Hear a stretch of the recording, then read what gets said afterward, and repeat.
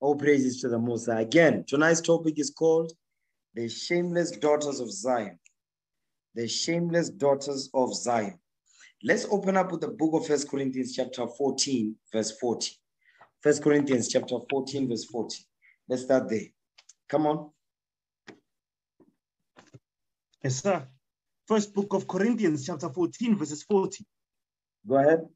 Let all things be done decently and in order. Read again. First book of Corinthians, chapter 14, verse 40. Uh-huh. Let all things be done decently and in order. Let all things be done decently and in order. The Apostle Paul is writing to the church of Corinth because the church of Corinth was completely out of order. There was a lot of evil that was going on in the church of Corinth. That's why the Lord is writing to them right here.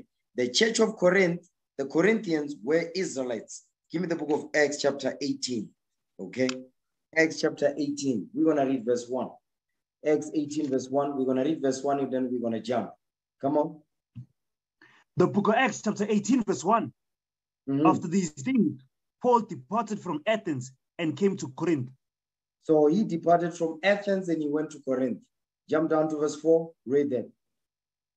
Verses 4 And he reasoned in the synagogue every Sabbath and persuaded the Jews and the Greeks. You see that he says he reasoned with he's reasoned in the synagogues every Sabbath and persuade he says and persuaded the Jews and the Greeks. He persuaded the Jews and the Greeks. So the church of Corinth, it was the synagogues of the Jews and our Israel and the Israelites, our forefathers that grew up in Greek customs. You understand? Okay, read on. And when Silas and Timotheus were come from Macedonia, Paul was pressed in the spirit and testified to the Jews that Jesus was Christ. He, sa- he says he testified to the Jews that Jesus was Christ. Remember, the Jews is the people in Corinth, where he were, where there was a synagogue of the Jews. You understand? Okay, come on.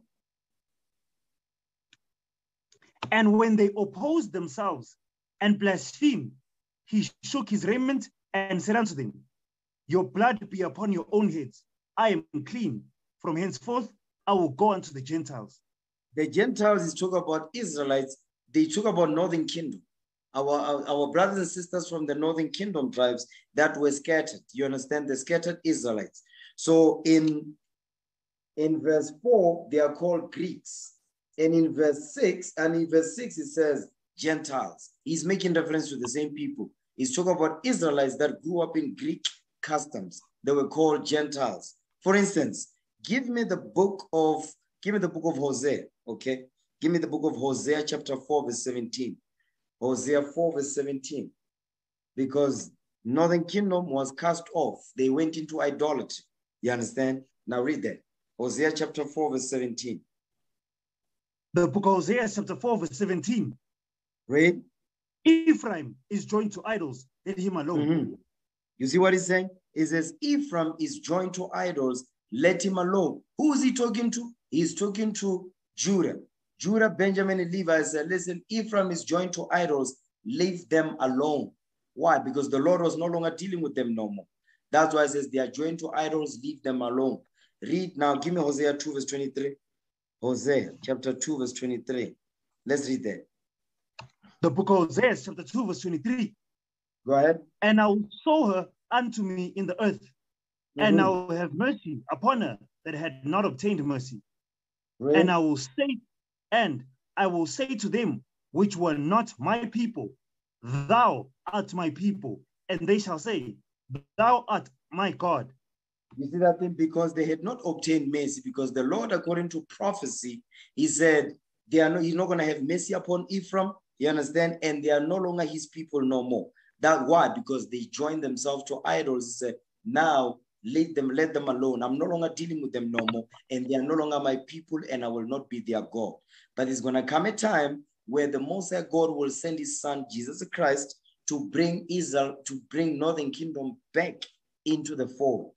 So when they were when they were worshiping idols, they were referred to by the southern kingdom, Judah, Benjamin, Levi, as Gentiles. Okay. Now give me, give me the book of Hosea, chapter 8, verse 4. Hosea 8, verse 4, because um, Northern Kingdom, they went in heavy into idolatry. Okay, watch this. Hosea 8, verse 4. The book of Hosea, chapter 8, verse 4. Go ahead. They have set up kings, but not by me. Mhm. They have made princes, and I knew it not. Of their silver and of their gold have they made them idols, that they may be cut off. You see that thing? It says they've set up kings, but not by me. Who were the kings that Northern Kingdom set up? Give me that in First Kings chapter 12, verse 27. Okay, because after the split, you understand? Jeroboam, because he, he was he was over the 10 tribes. Guess what he did? He set up, they, they set up kings, they set up priests which were not set up by the Most High God. You understand? That's why it says they set up kings, but not by me. Watch this. Give me that in First Kings 12, 27. Read it. First book of Kings, chapter 12, verse 27. Go ahead. If this people go up to do sacrifice in the house of the Lord of Jerusalem, Mhm. then shall the hearts of this people turn again unto the Lord, even unto Rehoboam, king of Judah, and they shall kill me. see what- you see- And Now, this, this is Jeroboam speaking. He's speaking within himself. He's thinking that, wait a minute, if these people have to go back to Jerusalem, because that's where the sacrifices were performed, because that's where the temple was. If they go back there, they will turn from me and they will not return. That's what he was saying. You understand? So he came up with an evil plan. Read. even unto Rehoboam, king of Judah, and they shall kill me, and go again to Rehoboam, king of Judah. Read. Whereupon the king took counsel and made two calves of gold and said unto them, It is too much for you to go up to Jerusalem. Behold, thy gods, O Israel, Mm. which brought thee up out of the land of Egypt. You see that? So he set up two golden calves, one in Bethel, the other one said he in Dan. He says, Behold thy kings, O Israel. Because our forefathers, you understand, northern kingdom tribes, they went heavy into idolatry, which included, you understand, worshiping of sun, the sun, the moon, and the stars, committing abortions and having orgies, all kinds of evil sexual, sexual abominations. They were doing all of that. You understand? So because they enjoyed that, when he presented those golden calves, they did not have any objections. You know? And he set up, and he, first book of Kings, chapter 12, verse 29. And he set the one in Bethel, and the other put he in Dan. Mhm. And on. thing became a sin, for the people went to worship before the one, even unto Dan. You see that thing? Is that this thing became a sin because they were breaking the first commandment. Thou shalt have no other gods. As soon as they broke the first, they automatically broke the second. Okay, go ahead. And he made an house of high places, and made priests of the lowest of the people, which were not of the sons of Levi. You see that thing? He said they've set up kings, but not by me. You understand? Because they were worshiping idols. They were no longer dealing according to how the Most High God commanded them. Read. And Jeroboam ordained a feast in the eighth month, on the fifteenth day of the month, like unto the feast that is in Judah. And he offered upon the altar. So did he in Bethel, sacrificed unto the cows, unto the calves that he had made. And he placed in Bethel the priests of the high places which he had made. You see that in the priests of the high places which he had made. The high places is what? The altars of Baal, where he was worshiping idols. That's what Jeroboam was doing.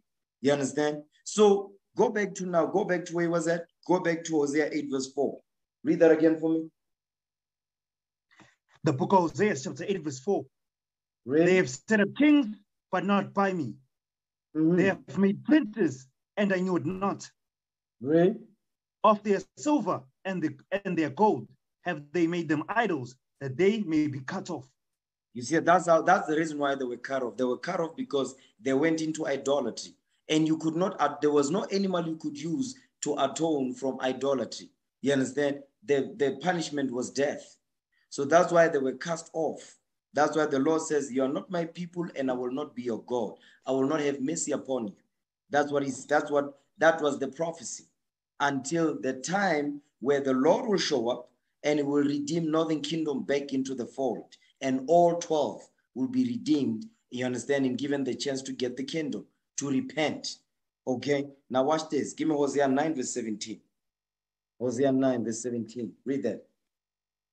The book of Hosea, chapter 9, verse 17. Come on.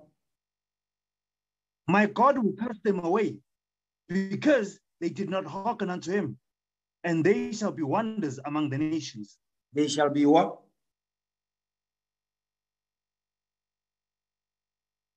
Come on, read that verse again. The book of Hosea, chapter 9, verse 17. My God will cast them away because they did it, because they did not hearken unto him, and they shall be wanderers among the nations. He says, They shall be wanderers among the nations. You understand? They will be wandering out of the way of understanding. They'll be spiritually dead.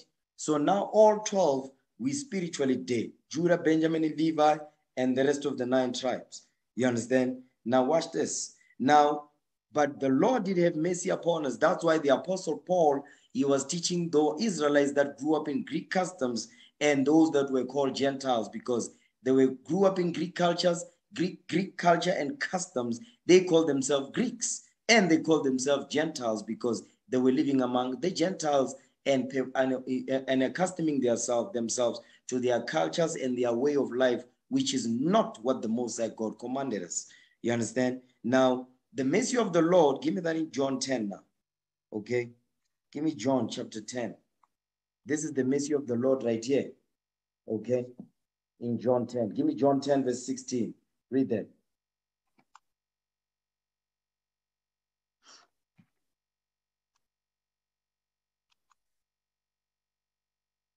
Come on, John 10, verse 16. The book of John, chapter 10, verse 16. And other sheep I have, which are not of this fold. Them also I must bring, and they shall hear my voice, and they shall be one fold and one shepherd.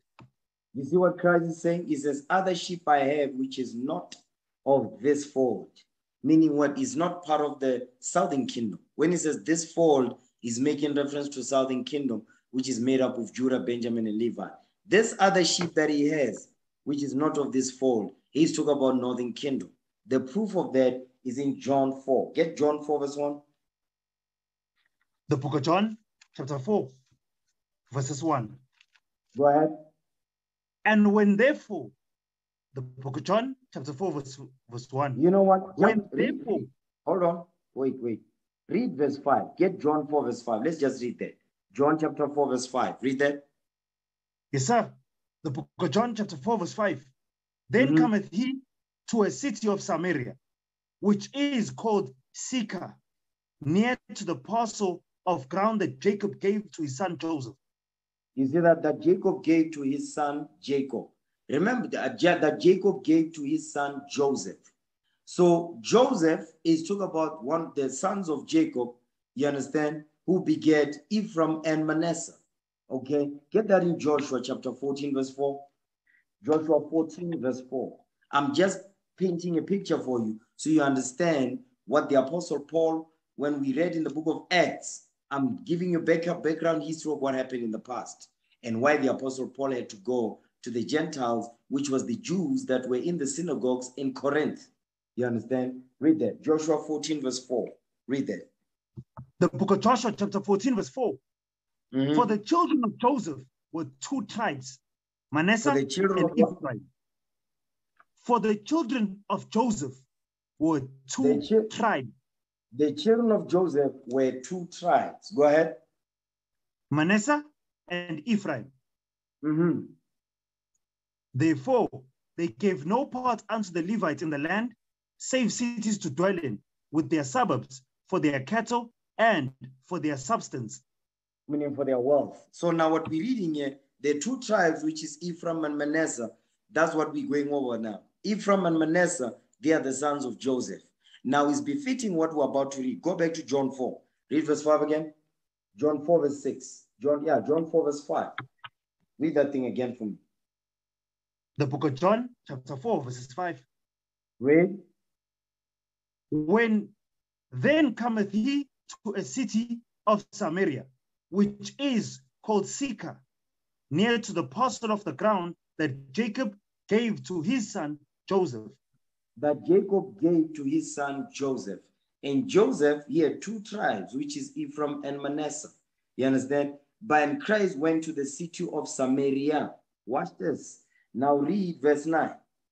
Okay. The book of John, chapter 4, verse 9.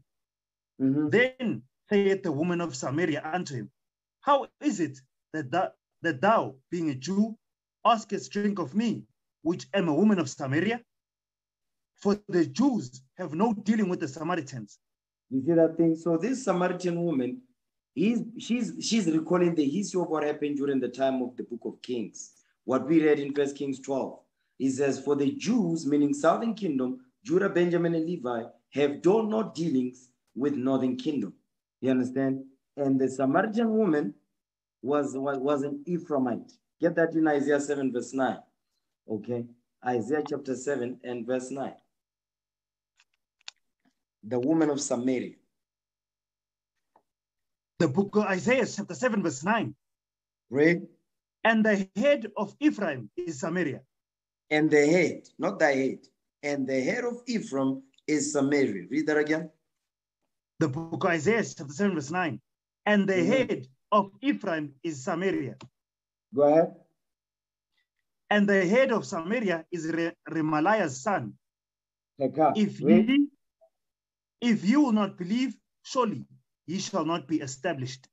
So the head of Ephraim is Samaria. The capital city of Ephraim is Samaria. Okay, let's go back. John 4. John chapter 4, verse 9 again.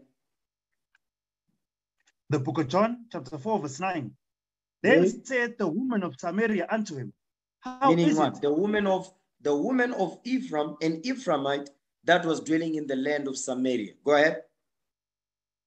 How is it that thou, being a Jew, askest drink of me, which am a woman of Samaria? For the Jews have no dealings with the Samaritans. You see what the, the, the woman of Samaria is called? She's called a Samaritan. You understand? Because she was dwelling in the land. She was an Ephraimite in the land of Samaria. So she was called a Samaritan, but she was from the tribe of Ephraim. Okay? So when they are, when when when Christ says the other sheep I have, is talk about northern kingdom. And the apostle Paul's ministry was to go and teach the Jews, the, the scattered Israelites, you understand, the Gentiles, which were sometimes called Greeks because of what they were living according to Greek and Gentile customs, like many of our people are doing today. You understand? Now, go back to the book of Acts now. Let's go to Acts. Acts chapter 18. Okay, Acts chapter 18, I believe it's verse 6.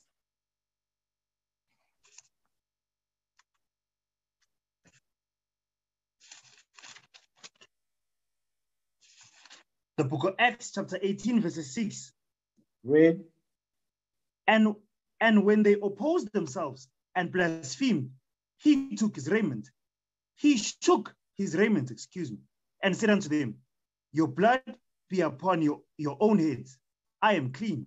From henceforth, I will go unto the Gentiles. So, because when he says they opposed themselves, meaning they were arguing. You understand? They were arguing back and forth as he was teaching them. That's why it says, let all things be done decently and in order. Because there was no order in the church of Corinth. There was no decency in the church of Corinth. There was evil and wickedness. Okay. Now jump down to verse 8, Acts chapter 18, verse 8. Let's see the, the, the, the church of Corinth, the Jews that were in the synagogues. Let's see what they were called. Read verse 8. Come on. The book of Acts, chapter 18, verse 8. Read. And, and Crispus, the chief ruler of the synagogue, believed on the Lord with all his house. And many of the Corinthians, hearing, believed and were baptized. You see what is you see what they are called? It as many of the Corinthians believed and were baptized. So they were called Corinthians, the Jews that were scattered in Corinth. They were called Corinthians, but these are Jews. You understand? That's why the Apostle Paul had to go to them and teach them the gospel of Christ. Now let's go back now. First Corinthians 14, verse 40 again. First Corinthians chapter 14, verses 40. Read. Let all things be done decently and in order. Let all things be done decently and in order, because they were not done decently and in order. There was a lot of divisions in the church. There was a lot of um, division in terms of I only listen to Christ. I only listen to Paul. I only listen to Apollos, so on and so forth. There was a lot of division. There was no order. They were not on one accord. You understand? That's why the Apostle Paul had to say this thing. Now let's go back a couple of chapters before that. First Corinthians 11, verse 3. Watch this. One of the disorder that was going on in the church of Corinth is was what? There was disorder in marriages. And because there was disorder in marriages, the apostle Paul had to reteach them. You understand? To remind them the order in terms of how marriage is supposed to be, who's the head. You understand the man's role and the woman's role. The apostle Paul had to bring that up again because they forgot. So there was disorder in marriages and family structures were broken up. Okay, read what you got. First Corinthians 11, verse 3. First book of Corinthians, chapter 11, verse 3. Go ahead. But I would have you know that the head of every man is Christ, and Read. the head of the woman is the man, and the head of Christ is God. So the apostle Paul had to remind them of the order that the Most High God gave from the beginning, the role of the man and the role of the woman. You understand? Because in the church of Corinth, there was confusion. So it is today. There's confusion in the church. You understand? There's confusion. Man does not know what his role is. Woman does not know what her role is, especially our sisters. Our sisters don't know their role and they don't want to submit themselves to the role that God gave them. They want the sub, they want the position of the man. That's why there's disorder in marriages and the families are broken. You understand? We have to repair that with the laws of God. Okay. Now watch this. Jump down to verse seven. Verse seven. We what we read in verse three is to understand that the Most High God is the head. You understand? And then Christ. Then you have the black man, and you have the black woman. Then you have the children. That's the order. That's God's divine order that He set from the beginning. That's why He made Adam first. You understand? Now read what you got. Read verse 7. First book of Corinthians, chapter 11, verse 7. For a man indeed ought not to cover his head, for Mhm. as much as he is the image and glory of God. Come but on. the woman is the glory of the man. You see what he's saying? So the Apostle Paul is taking us all the way back to Genesis. So listen, it says, listen, the man ought not to cover his head. What is he talking about? Jump up to verse 4. Okay. What does he mean when he says a man ought not to cover his head? What is he talking about? Read verse 4 so we understand what he's saying. Come on. First book, first book of Corinthians, chapter 11, verse 4. Read. Every man praying or prophesying, having his head covered, dishonoreth his head. You see that thing? Every man praying or prophesying, having his head covered, dishonoreth his head, which is who? Christ. So when he says a man indeed ought not to cover his head, it goes into what? Praying or prophesying. That's what the Apostle Paul is referring. So jump back down to verse 7. Come on. First book of Corinthians, chapter 11, verse 7. For a man indeed ought not to cover his head, for as Mhm. much as he is the image and glory of God. But the woman is the glory of the man. He says, so for as much as he's the image and glory of God. So man was made, we was we are made in God's image. The woman, she was made in our image, not in God's image. You understand? So the apostle Paul had to remind them because they forgot that. Because they were what? They were moving in Greek and Roman customs, where the in, in Greek and Roman culture, there was a lot of what? There was a lot of gender role reversals. You understand? And they didn't care because they were ruling. So because they were the Romans, the Greeks were ruling, they didn't care if the women were trying to be equal with them. They knew that they were in, they're in power anyway. You understand? So, but our people, they started to follow that. They started to follow Greek and Roman customs like they are doing today, following American, Western, European customs. Okay? Now watch this. Jump down, keep reading. First Corinthians 11, read verse 8 now. First book of Corinthians, chapter 11, verse 8. For the man is not of the woman, but the woman of the man. Because the woman is of the man, because she was taken out of man. That's why she's called woman. Go ahead.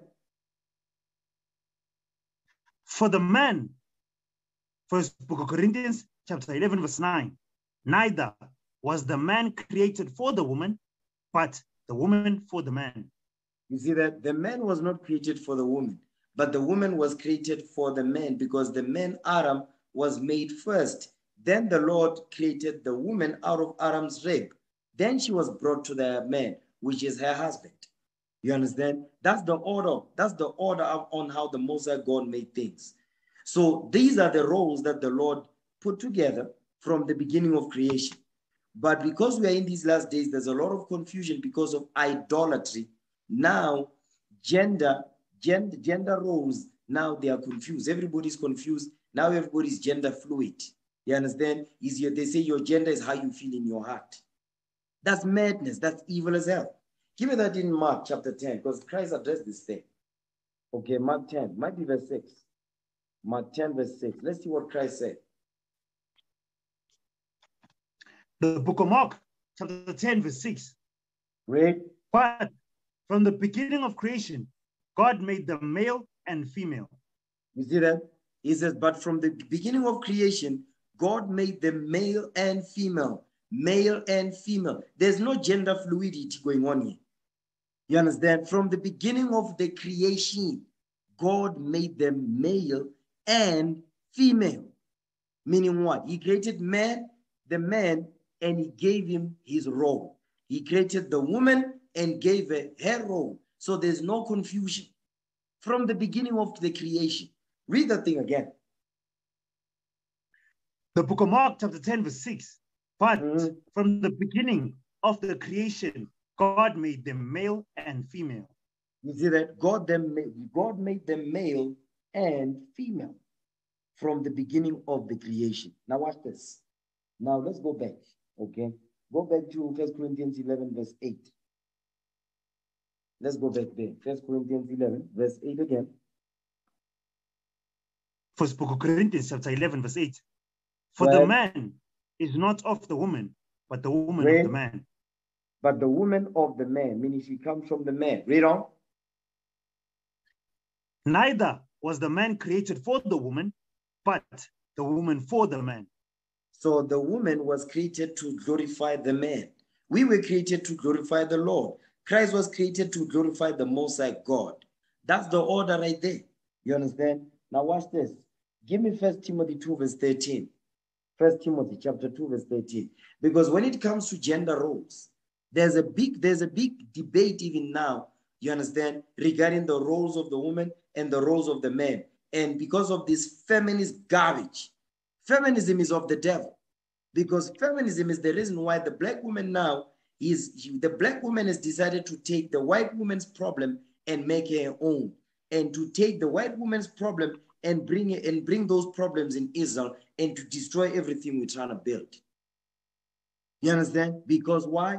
Because she envies the devil. That's why. That's why we're having so much problems in the community because of that. Now, when men wants to be men, the black woman says we're misogynist. The black woman says we are um, um, you are anti you are anti women. We hate women. We are bossy and whatnot. No, we men. You understand? The Most High God made us that way. When we pick up this Bible, we do what it says. We move according to the Spirit of the Most High God, the Spirit of Christ, the Lion. Listen, the black woman can, the, the reason why the black woman is upset is because she does not want to submit herself to that role that God gave her, to be feminine. Not, not be a feminist, but to be feminine, meaning to be what? To understand her role as a woman. Not wanting to be in the same position as the man, because that was never her role.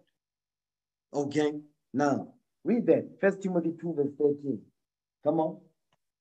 First book of Timothy, chapter 2, verse 13. Read. For Adam was first formed, then Eve. You see that? Because Adam was created first, then Eve. Adam was created first, then Eve. So Adam was the first man that was made. You understand? The greatest man that ever set foot on the planet Earth before everybody else was Adam, our forefather. You understand? So after out of that, out of Adam, Eve was created to glorify Adam. You understand? So those roles now are being questioned, they are being they are being hated. Those roles they are they are deemed as evil, and the black woman has joined that thing. She supports it, you know, directly or indirectly. You understand? Spiritually and physically, directly or indirectly, she supports it because she does not want to submit herself to the role that God gave. By default, she supports the feminist movement. By default, if any sister who does not want to submit herself to the role that God gave, God gave by default, she's a feminist. By default, she's against the nation of Israel. She's against the building up of the 12 tribes of Israel so we can come out of captivity and rule the earth. By default. Now, watch this. Give me the book of Tobit 8, verse 6. Okay? Tobit 8, verse 6. Watch this.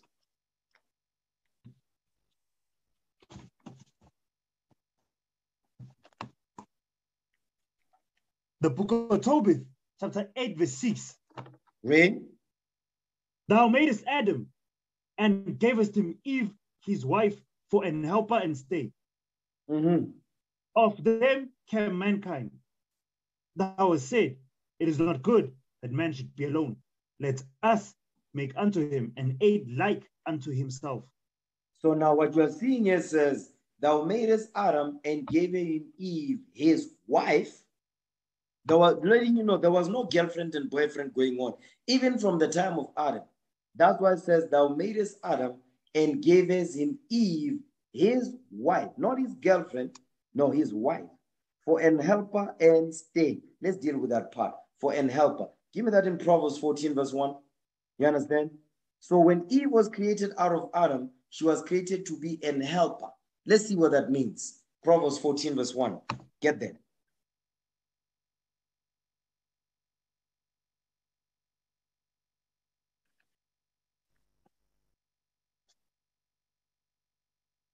Come on.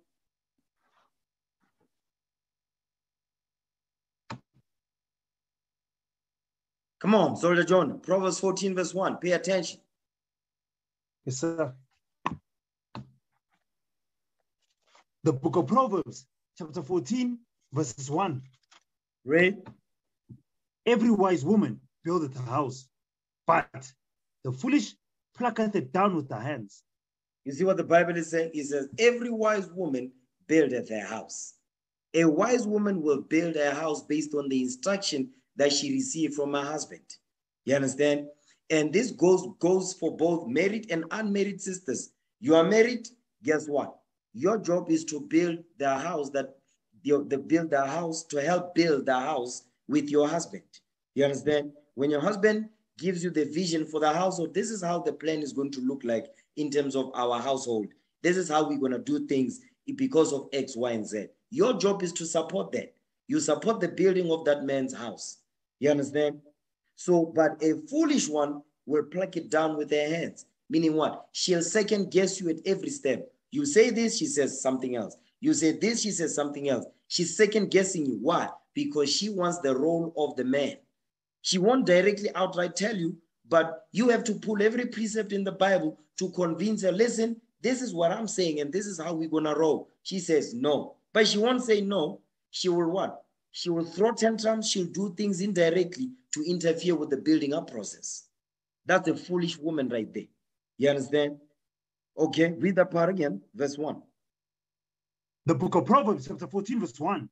Every wise woman buildeth a house, but the mm-hmm. foolish plucketh it down with her hands. But the foolish will pluck it down with their hands. The foolish will pluck the house down. That's what the Lord is telling us right there. So when you second guess your husband, every decision he makes, you are not an helpmeet. You are not a help that is good for him. That's why we're reading here says, Thou madest Adam and gavest him Eve, his wife, for an helper. You're supposed to and help. You're supposed to be an asset to your husband. You understand? You're not supposed to be a liability. You're supposed to be an asset. So when you say stuff, she second guesses you, that's not an asset, that's a liability. You understand? She's gonna cause you problems. That's what we're reading here. A wise woman will help build, but the evil woman will help to destroy. When you build, she'll come behind you and destroy. You understand? She will plug the house down that you're trying to build. Meaning what? She's counter-revolutionary. Understand that. Go back to Tobit. Tobit chapter 8, verse 6. Read. Thou madest Adam and gavest him Eve, his wife, for an helper and stay. Stop right there. He says, Thou madest Adam and gavest him Eve, gavest him Eve, his wife, for an helper and stay. What does that mean? And a stay. Watch this. Give me the book of Judges 5, verse 9. He says, For an helper and stay. What that mean? For an helper and stay. Judges chapter 5, verse 9. Read what you got. Come on. Judges chapter 5, verse 9. Read. My heart is toward the governors of Israel that Mhm. offered themselves willingly among the people. Bless ye the Lord. You see what he's saying? He says, My heart is towards the governors of Israel. Because a governor, there's a government in, in order for them, there must be a government in order for them to govern. The governors are the leaders. So our foremother Deborah says her heart is towards the governors, meaning the leaders of Israel. What was she doing? She supported the men of Israel. So guess what? When it says when when we read in Tobit, when it says thou thou thou, thou madest Adam and gavest him Eve, his wife, for an helper, meaning she must be an help meet, meaning a help good for him, meaning she was help build the house that that her Lord is, is building. That's her job because she's using wisdom. She understands that me and my Lord, we must be one flesh. Meaning what? My mind must be according to his mind. The minute you second guess everything he's saying, your mind is not according to his mind. Your mind is according to the mind of your oppressor. Because he is adverse. He is adverse. He is counter-revolutionary. So when you counter-revolutionary, you have a heathen, you are heathen minded. You understand? So our foremother Deborah here, she's teaching our sisters where their mindset must be. Your mindset must be towards the governors of Israel. That's what we're reading here. Read again, verse 9. Judges chapter 5, verse 9. Mhm. My heart is toward the governors of Israel that offered themselves willingly among the people. Bless ye the Lord. You see that thing? Bless ye the Lord. So that's what her, my mindset was towards the governors of Israel. You understand? So that's when it says, and helper and a stay. She supported the troops. You understand? She supported the troops, and our foremother Eve, before all hell broke loose, her job supported, she supported who? Adam, our forefather. You understand? She supported him. Now let's get the definition of the word stay. Let's get that definition. Let's get the definition of the word stay. Watch this. Uh, read that. The definition. The definition of stay. We're gonna read Verb. definition. We're gonna read this one. We're gonna read definition five. Literary. Read that. The definition of stay. Definition five, literary. Support or prop up. You see that? Support or prop up. Support or prop up. That's what it means. And helper and stay. To support your husband. Encourage him. You understand? That's what he's going into when he says, and helper and stay. You must support your husband. Now watch this. Hmm. Give me the book of Sirach. Okay, give me Ecclesiasticus. Give me Sirach chapter 25. Give me Sirach chapter 25, verse 23. Watch this. Ecclesiasticus chapter 25, verse 23. Read. A wicked woman abateth the courage. Meaning what? She abated, meaning she will discourage you.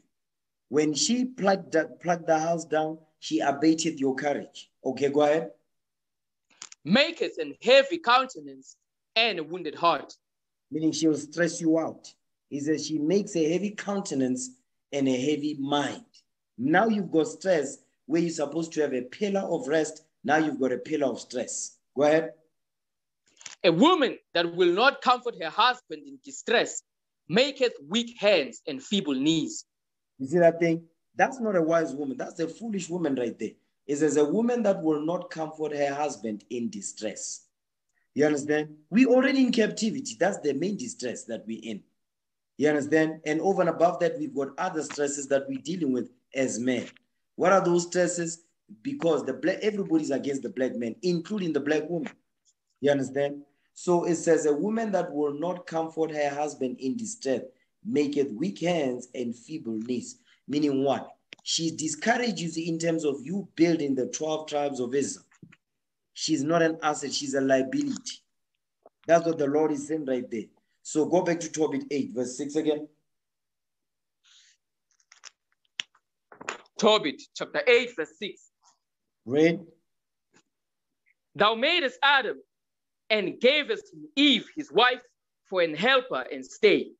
For an helper and stay. And helper and stay. You understand? Meaning what? You're supposed to be that wise woman that receives instruction from your husband, and your mind must be according to his mind. And you must be as a support system for him as well. Why? Because we've got a heavy load that we need to deal with, us against the world, literally. You understand? So now that goes for the married woman, and it also goes into what? It goes into the unmarried woman, the sisters. You understand? When it comes to the sisters, I'm gonna the sisters that are unmarried, I'm gonna deal with it in a second. Okay, now watch this. Now, what you need to understand is that keep reading, finish that verse, Tobit 8, verse, verse 6. Tobit chapter 8, verse 6. Go ahead. Thou madest Adam and gavest him Eve, his wife, for an helper and stay. Mhm. Of them came mankind. Thou hast said, It is not good that man should be alone. Let us make unto him an aid like unto himself.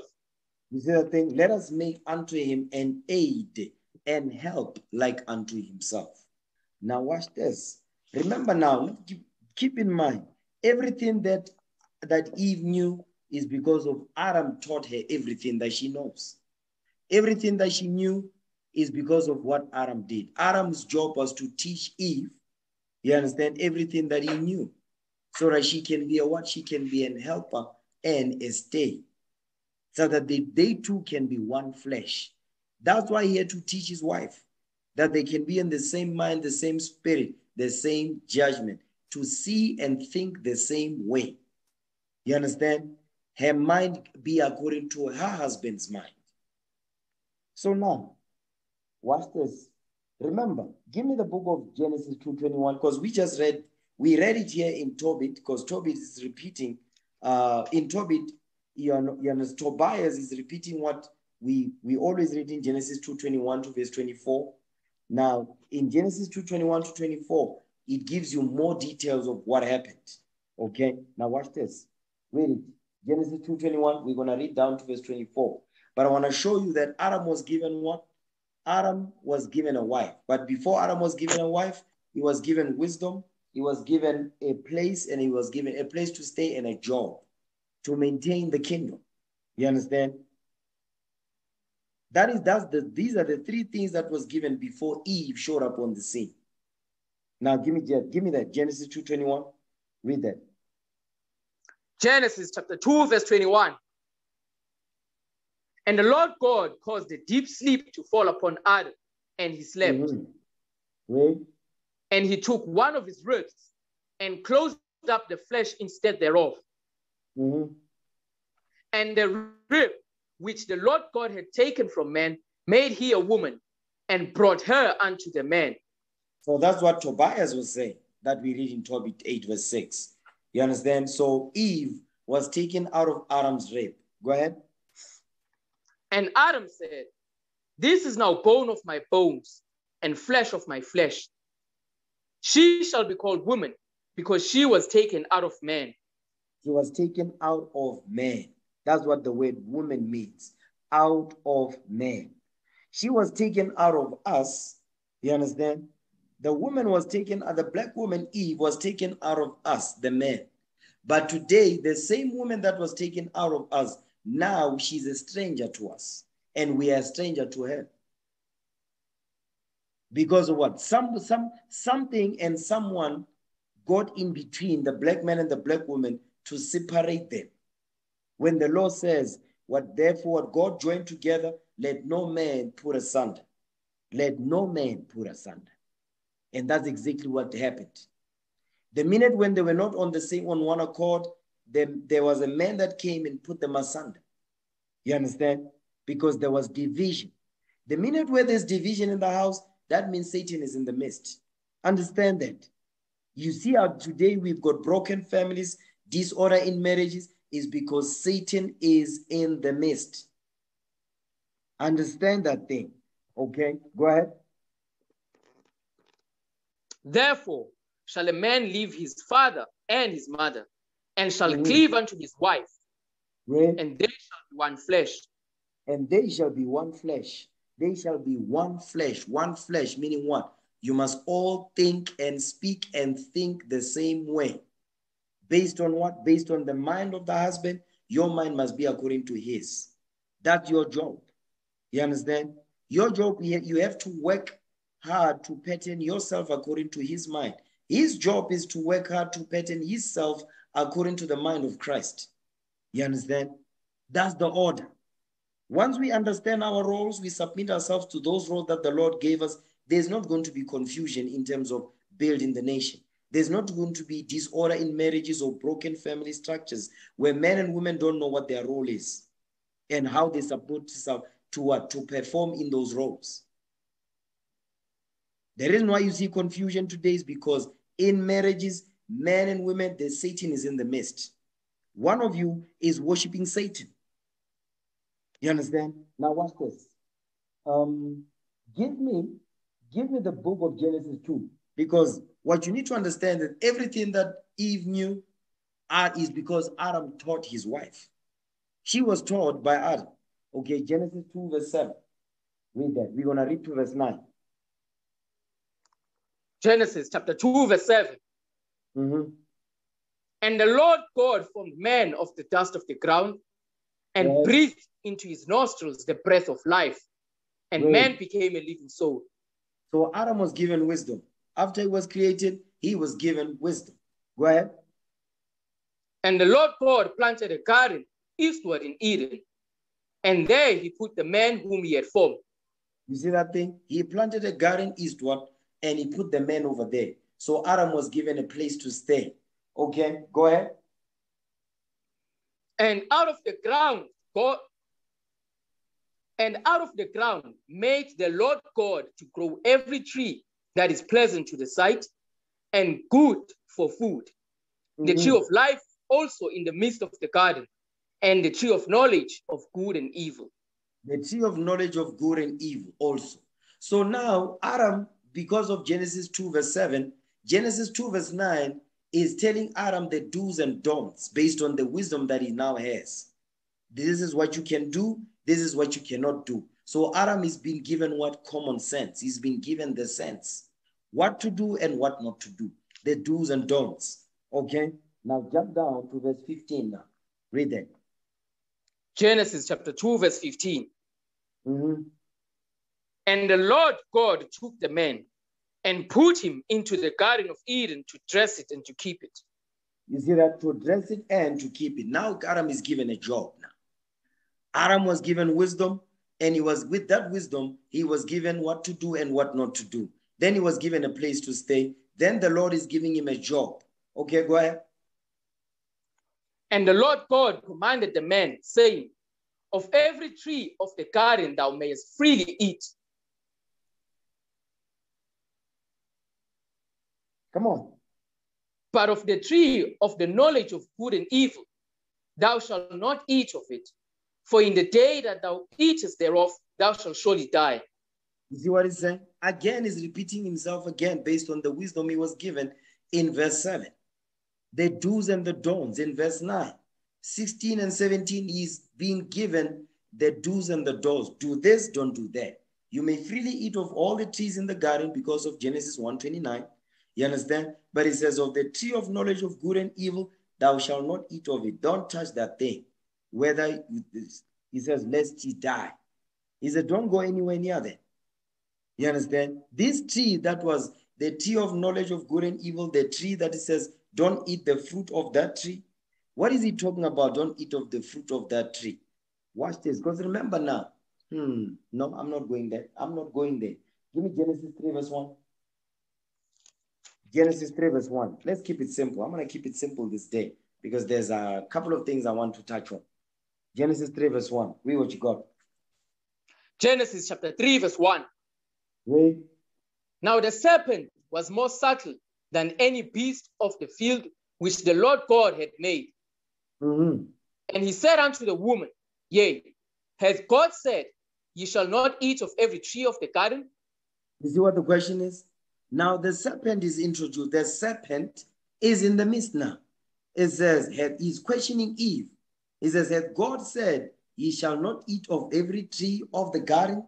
Remember, she's he's asking the question that is asking the question of the in, regarding the information that was given to Adam regarding the do's and don'ts.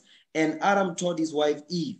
Now the serpent is asking the question to test to see if does this is this woman okay with it? Because the serpent picked up what she's not okay with this thing. She don't want that. Because remember, Adam was a God on earth. You understand? He was glorious to look upon. He was imperfect. He was, he, there was no blemish in him. He was perfect.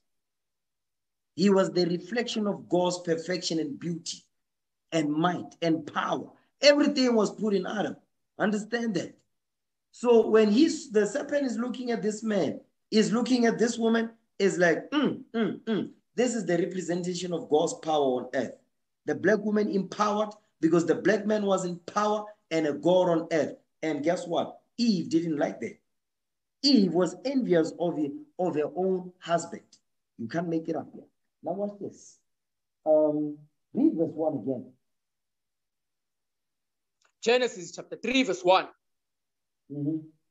Now the serpent was more subtle than any beast of the field which the Lord God had made. And he said unto the woman, Yea, hath God said, Ye shall not eat of every tree of the garden? You see, the question is being asked. Next verse. Go ahead. And the woman said unto the serpent, We may eat of the fruit of the trees of the garden, Mm-hmm. but of the fruit of the tree which is in the midst of the garden, God had said, Ye shall not eat of it, neither shall ye touch it, lest ye die. You see that? Ye shall not eat of it. You understand? Don't eat of it, neither shall ye touch it, lest ye die. Because to touch it meaning what? You learn of the fruit that coming from that tree. Now watch this. Now remember now, Eve is married at this point. You understand? Eve is married. So I'm gonna deal with that some more because marriage is a strong foundation for the for a strong marriage. So we need to deal with that stuff. Okay. Now watch this. Okay, all praises to the Lord. Now watch this. Give me, give me the book of First Corinthians 14, verse 33. I'm gonna show you something here because there is, I'm, I'm gonna show you there's a point where I'm bringing this out. First Corinthians 14, verse 33. Let's read that. First Corinthians chapter 14, verse 33. Go ahead. For God is not the author of confusion, but Mhm. of peace, as in all churches of the saints. Remember, it says, it says, God is not the author of confusion, right? God is not the author of confusion, but of peace, as in all the churches of the saints. Now, watch this. Hmm.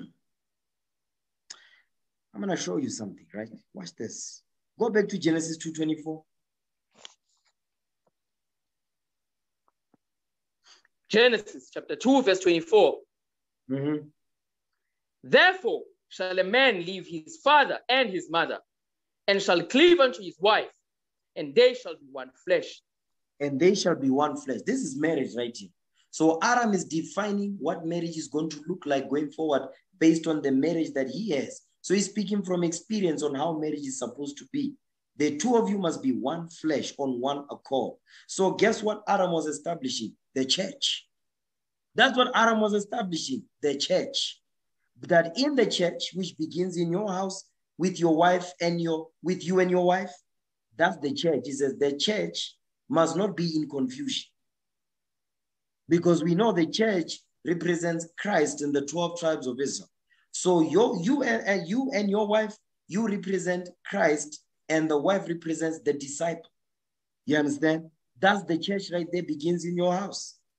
So Adam is describing the church right here. Now the apostle Paul, he's quoting Genesis because he's going back to how that church must be between men and women. Now it also goes into the, the congregation now. Now go back to where he was at. First Corinthians 4, read verse 33 again. First Corinthians. Okay. First Corinthians chapter 14, verse 33. Great. For God is not the author of confusion, but Mhm. of peace, as in all churches of the saints. And the church begins in your house, you and your wife, husband and wife. That's the beginning of the church. Okay. He says there must not be confusion. So, what brings the confusion in the church, in the marriage? Because that's the church. You understand? That's the beginning of the church, your marriage. Watch this. Give me the book of Isaiah. Okay. Isaiah chapter 45. Isaiah 45, 16. Read that. Isaiah chapter 45, verse 16. Read. They shall be ashamed and also confounded, all of them. They shall go to confusion together that are makers of idols. You see that thing? Is that they are going to be ashamed and confounded, meaning confused. They don't understand basic things like roles that the Lord has set up.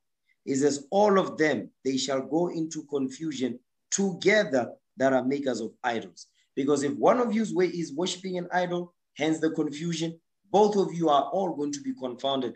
That house is going to be destroyed. You understand? That's what he's saying. That house is going to be, their, their house is going to be destroyed. That's what the Lord is saying right there. You understand? Read it again. Verse 16. Isaiah Come on. Isaiah chapter 45, verse 16. They shall be ashamed and also confounded, all of them. They shall go to confusion together that are makers of idols. Okay, read that again. I'm sorry. Read it again. Verse, verse 16. Yes, sir. Isaiah chapter 45, verse 16. They shall be ashamed and also confounded, all of them. They shall go to confusion together that are makers of idols. They shall go to confusion together that are makers of idols. Give me that in Wisdom of Solomon chapter 14. Wisdom of Solomon chapter 14. We're going to read verse 23. Because King Solomon addressed this thing. Okay, Wisdom of Solomon chapter 14, verse 23. Read that. You know what? Let's, let's just get to the point. Read, get to the point. Read verse 24. Wisdom of Solomon, chapter 14, verse 24. They kept neither lives nor marriages any longer undefiled, Mhm. but either one slew another treacherously or grieved him by adultery. You see that? It says they kept neither lives, meaning they did not keep their lives nor their marriages any longer undefiled. Because what's bringing the, the defiling in the, in the in the marriage? Idolatry, idols, idol worship. Because that's what brings confusion. That's why the marriage becomes defiled because of that. He says, he says what the next thing is, but either one slew another traitorously, meaning what? There, there's going to be betrayal or grieved him by adultery. That's another betrayal that will come if the if one spouse does not repent from idol worship. You understand? Okay, go ahead. Read, read verse 26 now. Watch this. Wisdom of Solomon, chapter 14, verse 26. Disquieting of good men, forgetfulness of good turns, defiling of souls, changing of kind, disorder in marriages, adultery, and shameless uncleanness. You see that? Disquieting of good men, forgetfulness of good turns, defiling of souls. You understand? Changing of kind, meaning role reversals. Men and women confused about their roles according to how they were set up from the beginning. Disorder in marriages, role reversals, gender fluidity. That's what we're reading here. Adultery and shameless uncleanness. Why is Why will this happen? That we read in verse 24 and 26. Next verse. Go ahead. For the worshipping of idols, not to be named, is the beginning, the cause, and the end of all evil. Because of idolatry, worshipping of idols, breaking of the first and second and third commandment. You understand? And you breaking the 10th commandment all the way up. Because now you're going to commit adultery. Now you will lie. You, you understand? You will hate your brother. You will hate your sister because of that thing. That's what we're reading right there. Now there's there's what? There's confusion in the house. Now go back to where he was at. First Corinthians 14, read verse 33 again. First Corinthians chapter 14, verse 33. Read. For God is not the author of confusion, but of peace, as in all churches of the saints. You see that thing? The Lord is not the author of confusion. What brings the confusion? Idolatry. What brings the confusion? You understand? Hating, hating the order that the Lord has set up in terms of your marriage. You understand? That's why it says, but of peace, because the Lord called you to peace. It says, as in all the all churches of the saints. Because Adam's marriage, that was the beginning of the church right there. Understand? That was the beginning of the church. You understand? And there must not be confusion in the church. Keep reading. First Corinthians chapter 15, verse 34. No, 14. 14, verse 34. Come on. Excuse me, sir. First Corinthians chapter 14, verse 34. Read. Let your women keep silence in the churches, for it is not permitted unto them to speak, but they are commanded to be under obedience, as also saith the law. They are commanded to be under obedience. Obedience to who? Their husbands. They are commanded to be under obedience to their husbands. The reason why the Apostle Paul had to emphasize this, remember now, there were disorder in marriages. There was disorder and there was indecency in the church. So now, the reason why there was disorder in the church, there was indecency in the church, is because there was disorder in the marriages of the people that came to the congregation. So now, because their marriages are defiled, the church will be defiled as well. That's what he's saying right there. So that's why it says that the women keep silence in the churches because they're the ones when they open their mouth, they what? If their mind is their mind is not well instructed, they're gonna open their mouth to cause confusion in the church to bring what idolatry. You understand? Keep reading. Read verse 35. Watch this. And if they will learn anything, let them ask their husbands at home. Mhm. For it is a shame for women to speak in the church. You see what he's saying? He says, if they will learn anything, they want to learn anything when it comes to the scriptures, yeah, how to conduct themselves and all that, they will ask their husbands at home. I'm going to go back to Genesis 3. I'm going to show you something with that. It says they will ask their husbands at home.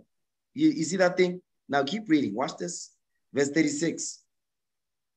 What? Came the word of God out of from you? Or came it unto you only? You see what the, the apostle Paul is asking now? He says, What? Came the word of God out from you? Is it did the word of God come from you? Were you the ones that were set up to teach? No. Were you the one that was set up to raise up the 12 tribes, to raise up the nation? No. That's why he's, as he's talking to the women. He says, Came the word of God out from you? Were you the ones that the Lord called to bring the truth to the 12 tribes? No. He's telling themselves, or came it unto you only, or came it unto you. Meaning the word of God was delivered unto you by who? The man that the Lord calls in this truth. You understand? The Most High God calls men. This God's movement, the men are the leaders. Understand that? That's why we're reading here says, the word of the word did not come from the women. It came from the men to the men and the women in the congregation to set up order in the nation. That's what we're reading right there. But you see that part, read verse 35 now again. Jump up to verse 35. First Corinthians chapter 14, verse 35. Mhm. And if they will learn anything, let them ask their husbands at home. For it is a shame for women to speak in the church. Because it is a shame. Because the woman if she wants to learn anything, she must go to her husband. If she does not go to her husband, she's gonna bring shame to your house. Now, watch this. Now, let's go back to Genesis 3, verse 1 and 2. Hmm. Genesis chapter 3, verse 1. Now the serpent was more subtle than any beast of the field which the Lord God had made. And he said unto the woman, Yea, hath God said, Ye shall not eat of every tree of the garden? Read. And the woman said unto the serpent, We may eat of the fruit of the trees of the garden. But of the fruit of the tree which is in the midst of the garden, God had said, Ye shall not eat of it, neither shall you touch it, lest ye die. You see what he's saying?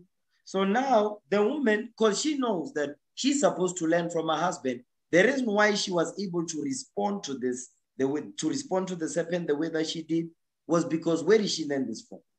She learned this from her husband. Like we read in First Corinthians 14, if she will learn anything, let them, if they will learn anything, let them ask their husbands at home. So just like she learned when she was created out of Adam, she was supposed to what? She was supposed to not entertain the serpent at all. She wasn't supposed to entertain him. Why? Because, because everything she knows, she was taught by her husband. Now she's entertaining the serpent. You have to think about that. Here you are, you have a married woman, she's entertaining the serpent. Because back then, it happened back then and it's happening today. How will she, how is she, how is our sisters entertained? We're talking about married sisters in the truth and married sisters in the world because somehow, for some ungodly reason, the sisters in the truth married, they have the same mindset of the sisters in the world, the feminist mindset. So now the married, the married women in the they are not married to their husbands. The married women in the truth, they are not married to their husband, they are married to the serpent. Hence the mindset. You see that thing? That's what we're reading here. And I'm gonna I'm gonna go into details account of what I mean by that. Keep reading. And the serpent said unto the woman, Ye shall not surely die. What did the serpent say? Ye shall not surely die. You're not gonna die. Meaning, whatever you whatever Adam taught you, it's a lie. It's wrong. It's a lie. Whatever whatever it is that Adam taught you is a lie. I got something better. Okay, go ahead. For God does know that in the day ye eat thereof, then your eyes shall be opened, and ye shall be as gods, knowing good and evil. You see what he's saying? He says, For God doth know that in the day ye eat thereof, meaning you learn, you learn of this. It says, Then your eyes shall be opened, and ye shall be as gods, knowing good and evil. And ye, and you shall be as gods, knowing good and evil. Now, the serpent, what is he proposing here? Remember now, in verse 4 it says, You shall not surely die. Excuse me. Verse 5 says, You're going to be as a God, knowing good and evil. So, what I want to show you here is Eve, Eve didn't, didn't, didn't like being told what to do by her husband. So the serpent was like, listen, I'm gonna, I'm gonna teach you something better than what your husband taught you. And that thing that I'm gonna teach you is gonna be better than what your husband has taught you and what your husband knows, and you're gonna be equal or above him. That's what the serpent is, is proposing to Eve. But she's supposed to know that if she wants to learn anything, like if she learned everything she knows at this point, she's supposed to go back to where she learned. You understand? But because, because, because it's like it's like this, it's like this, right? You ever notice where no, no, it's like the way he, the way your your your your husband Adam taught you, he's teaching you just he can be above you. He's teaching you that he can control you. He's teaching you that that's why you hear these trigger words. No, he's controlling. No, he's bossy. No, he's this. No, all of his sexist. No, he doesn't. He doesn't want women to challenge him. That's these are the trigger words, by the way. When you hear stuff like that, That's got nothing to do with it. It's got nothing to do with anything, but they hate the position that God has put on the black man. Understand that? And is the same mindset as the sisters, the same mindset that the, the, the mindset the sisters have is the same mindset that Esau has. Because Esau has the same mindset. You understand? So because he's got the same mindset, he's not going to come direct to Aram. He will use the Aram's woman to go to, to attack Aram indirectly. You understand? So what we're reading here, read it again, verse 5. Genesis chapter 3, verse 5. For God does know that in the day ye eat thereof, then your eyes shall be opened, and ye shall be as gods, knowing good and evil. Knowing good and evil. So now the serpent is proposing something different. You understand? And he's being painted as something bad. Now watch this. Give me that in Second Corinthians chapter 11, verse 13. Second Corinthians chapter 11, verse 13. Watch this. Because what we're reading here um, is that you will notice that what the serpent came to, if she didn't come, he didn't come with, with something that was bad on the surface. You understand? The proof of that is here. Second Corinthians 11, verse 13. We're going to read to verse 14. First Corinthians. First Corinthians chapter 11, verse 13. No, no, Second Corinthians. Second Corinthians 11, verse 13. Excuse me, sir. Second Corinthians chapter 11, verse 13. Go ahead. For such are false apostles, deceitful workers, transforming themselves into the apostles of Christ. That's what the white man will do when he took over in the 1400s. Go ahead. And no marvel, for Satan himself is transformed into an angel of light. You see that? It says, don't marvel. It says, because Satan himself is transformed into, the, into an angel of light. Meaning what? I'm the bright star of wisdom. So that's what's going on here in Genesis 3. So what is going on? What is what what what is effect? What is the agenda behind what the serpent is doing? Give me Mark 10 now. Mark 10, verse 6. Let's go back there. Mark 10, verse 6. We're gonna read down. This is the objective of what the serpent is doing, is this. Watch this.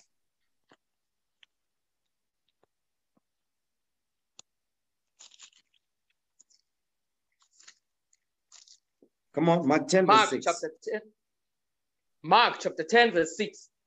Read.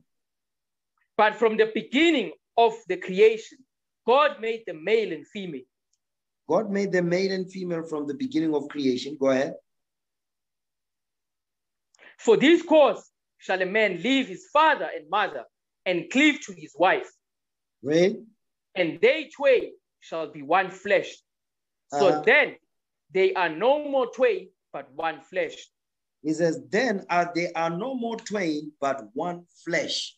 He's repeating it again because remember, it says from the beginning, the, the begin the church, which is the Adam and Eve, the marriage of Adam and Eve. That was the beginning. That was the first church, by the way, in Genesis. So here says, they it says, and they twain shall be one flesh. So then it says, so then they are no, there are no more twain, but one flesh. So the objective of the serpent was what? Was to separate uh, Eve from Adam. Because when they were one flesh, that was powerful. You understand? When they were when they were one when when they are one flesh, they are powerful. So when the serpent saw the unity of the man, a man and a wife that agreed together, that aggravated him. He said, No, no, no. I need to separate them. You understand? I need to separate them. I need to cut their cords in sunder. Because that likewise, that, that's what you're seeing today. The reason why you see it's hard for the black woman to support the black man is what was the who, who's in the middle? The white man is in the middle of it. And the way he's in the middle of it is what? He's not there directly sitting with you in the middle, physical. Mm-mm. It's a spiritual thing. Parents, you understand? Women's rights, women's movement, you understand? The feminist movement, you understand? E- gender equality. Yeah, you, you see that thing? Women can also do the things that men do, men can do as well. So he doesn't really have to be there physically, but spiritually, in the black woman's mind, he's sitting right there. He's the driving seat. When are you married to this woman? But she's she's not married to you. She's married to the white man. She's married to Satan. So what the mindset tells you who she's married to. You understand? So read that verse again. I'm jumping the gun now. Read verse 8, one more again. Mark chapter 10, verse 8. Read. And they twain shall be one flesh. Uh-huh. So then they are no more twain, but one flesh. Read on. What therefore God hath joined together, let not man put asunder. You see that? What you see, what therefore that God had joined together says, let no man put asunder. But the, the Satan's objective was to do what? Was to put asunder the marriage of Adam and Eve. Why? I'm going to show you something right here. Give me the book of Psalms 45, okay? Give me Psalms 45 real quick. I'm going to show you why. Psalms 45, read verse 10. Psalms chapter 45, verse 10. Mm-hmm. Hearken, O daughter, and consider, and incline thine ear. Forget also thine own people and thy father's house. He says, Forget all, says, Hearken, O daughter. Now let's talk about a sister that is married. He says, Hearken, O daughter, and consider and incline thine ear. Forget also thine own people and thy father's house, because your father will give your hand in marriage to that man that you're going to be joined together, and the two of you will be one flesh. So that's why now your father, your father now has given the responsibility that he was he had over the, his daughter over to you. Now watch the next verse. Go ahead. So shall the king greatly desire thy beauty. The king For- that will desire thy hold on. The king that will desire thy beauty, that's your husband. He's the king. You understand? Go ahead. For he is thy Lord, Mhm. and He's thy worship thou him. He is thy Lord, He is thy Lord. He is there is your Lord. He is thy Lord. Go ahead. and worship thou him. You see that part right there? And worship thou him. When he says worship thou him, meaning what? You must glorify your Lord, glorify your husband. You see this thing right there?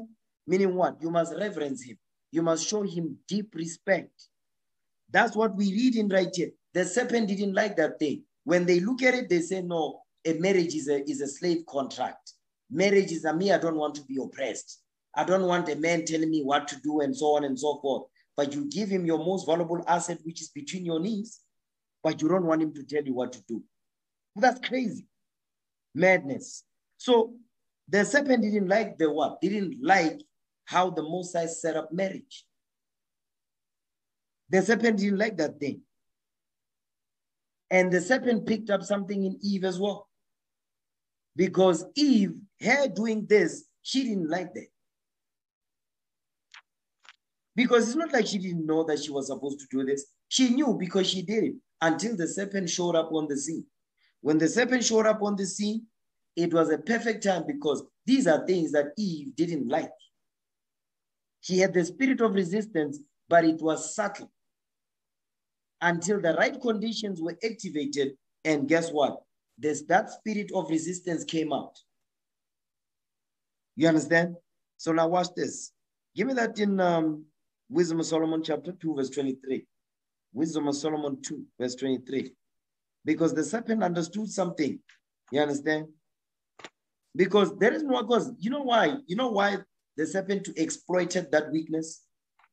Remember now, today you notice that you've got women that are competing, like women are competing to be men. They want to be more men than the actual role that the God has gave to the men to be a man, if that makes sense. So they look at the role, the gender roles that the Lord has given as a form of competition. You see, because the man is supposed to excel, you understand? Progress. The woman is supposed to support this man. So now some women, when they see the man progressing, they become envious of his progress, not realizing that his progress is your progress. His excellency is your excellency. He, when he's honored, you get honored as well. But today, the black women don't see it like that. She see it as a competition. You understand? That's why they always fighting with their men. They are fighting with their Lord. Why? Because she's always in competition when she don't realize that she's got a role to fulfill. He's got a role to fulfill. But you know, she's competing for the role that the man was given by the Most High. Hence the confusion in the house. You understand? Read that, Wisdom of Solomon. Wisdom of Solomon, chapter 2, verse 23. Mhm. For God created man to be immortal and made him to be an image of his own eternity. Now I want you to sit down and really think about this, what we're reading. It says, read that part again, verse 23. I'm going to show you something. Wisdom of Solomon, chapter 2, verse 23. Mhm. For God created man to be immortal, To be what? to be immortal, To be what? to be immortal. It says, God created man to be immortal. So we were not created to die. I'm going to show you something.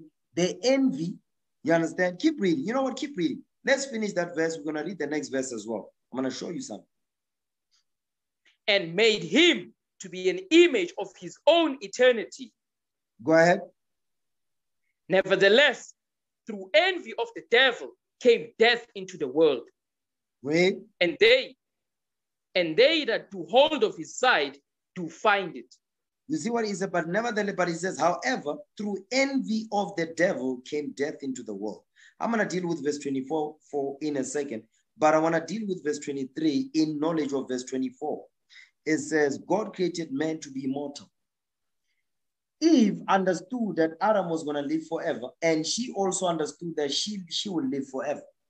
Because of what? Because of the commandments that the power that was given to Adam is the same power that she got in terms of what? She's she's she's now married to a man that is a god on earth.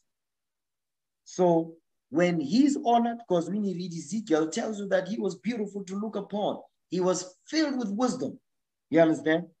So remember everything that is on earth, the fowls of the air, you understand, the creeping things, the fish and all that. Adam gave them names to all of them. Adam understood the spirit that was on these animals, hence the name he gave unto them. The fruits, the veggies, all the names of the fruit and the veggies, they were given names based on the spirit that is on them.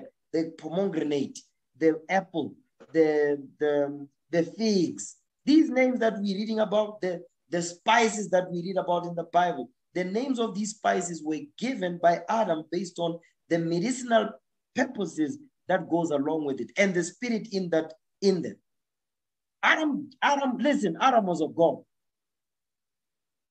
Understand that thing. Now, you can imagine the level of power and glory Adam had, and Eve was respected because of that. Eve didn't like that. Even though she also, she was given eternal life. But she hated the Adam's position, Adam's position so much that she was willing to do this. Get Sirach 25, Sirach 25 and verse 24. Watch this. Ecclesiasticus chapter 25, verse 24. Read. Of the woman came the beginning of sin, Mhm. and through her we all die. You see that thing? Of the woman came the beginning of sin, and through her we all die. There was no such thing as death during the time of Adam. Before, before the serpent entered into the room, there was no such thing as death. So it says, it says, of the woman came the beginning of sin, and through the woman we all die. That means her agenda with the serpent was to stop eternal life. Think about it. Hmm. That's why today the black woman is easy for her to commit an abortion. Death is nothing for her. Think about it. Look at the, um, the millions and millions of abortions that are committed every day by the black woman.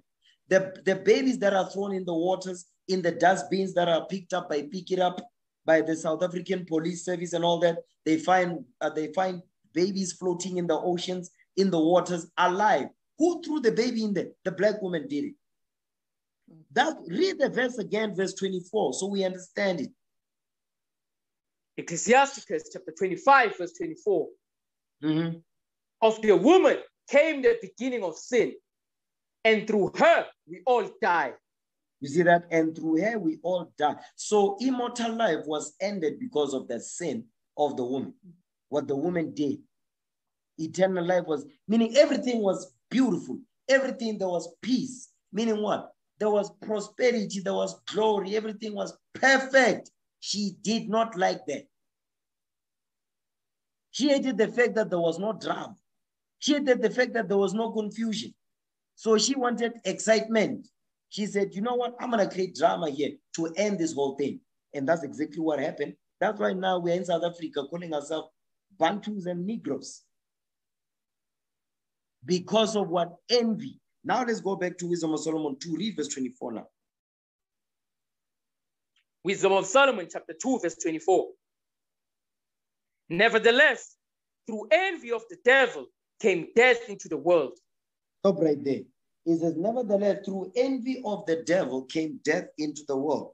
So, so Eve, what was the envy? Eve envied the devil. That was the envy. She wanted to be like the serpent. Because remember, the serpent came to Eve with a what? Came to Eve with quote unquote knowledge and wisdom.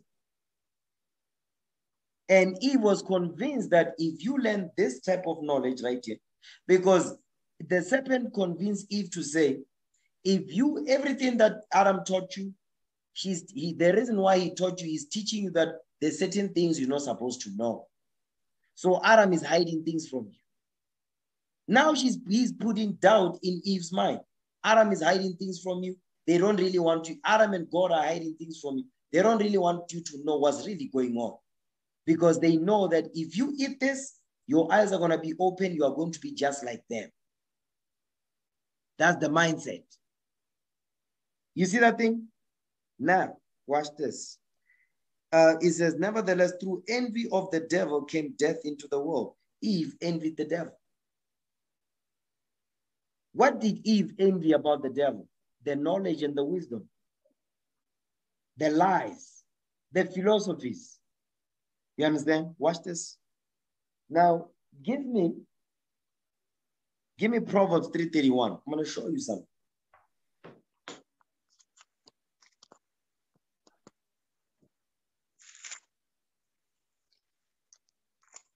Proverbs chapter 3, verse 31. Read. Envy thou not the oppressor, and Mhm. choose none of his ways. Read that again. Proverbs chapter 3, verse 31. Go ahead. Envy thou not the oppressor, and choose none of his ways. So this is a commandment. It says, envy thou not the oppressor, and don't choose any of his ways. Hold this, give me Acts 1038. It says, don't envy the oppressor and choose none of his ways. I'm going to show you something here. Because it's in conjunction with what we read. Remember, it says, through envy of the devil, Eve envied the serpent because of the so-called knowledge that the serpent came with. And the, the added benefit to that was that you're going to be equal or above your husband. But he, he knew, the serpent knew that Eve envy envies him. Not only that, Eve hates the position that Adam is in. She also wants to be glorified just like him on the same level, which is impossible. But the serpent understood that. Okay. Now read that. Acts 10 38. Watch this. Acts chapter 10, verse 38. Go ahead. How God anointed Jesus of Nazareth with the Holy Ghost and with power, who went about doing good and healing all that were oppressed of the devil, And all that were what? and all that were oppressed of the devil, and all that were oppressed of the devil, all that were oppressed of the devil. So when Christ walked the scene, walked the earth, that was he was doing. You understand? The apostles that came after him, they also did the same thing to deliver all those that were oppressed of the devil. So guess what? So when we say, when the Bible says in Proverbs 3:31, it says, envy thou not the oppressor and choose none of his ways, because the oppressor is the devil. The devil's job is to oppress. So what did the serpent do to Eve's marriage? He oppressed that marriage by dividing Eve from Adam. That's how Adam's Adam Eve's marriage was oppressed. What was the oppression? Division was the, was the oppression. Isn't the same thing that is happening now? You understand? During the Berlin conference, when they divided the continent, you understand? They divided us and they separated us. They gave us new names so we hate each other and we don't get along. That's the devil's tactic is that his oppression, his tactic of oppression is what? Division. Hmm.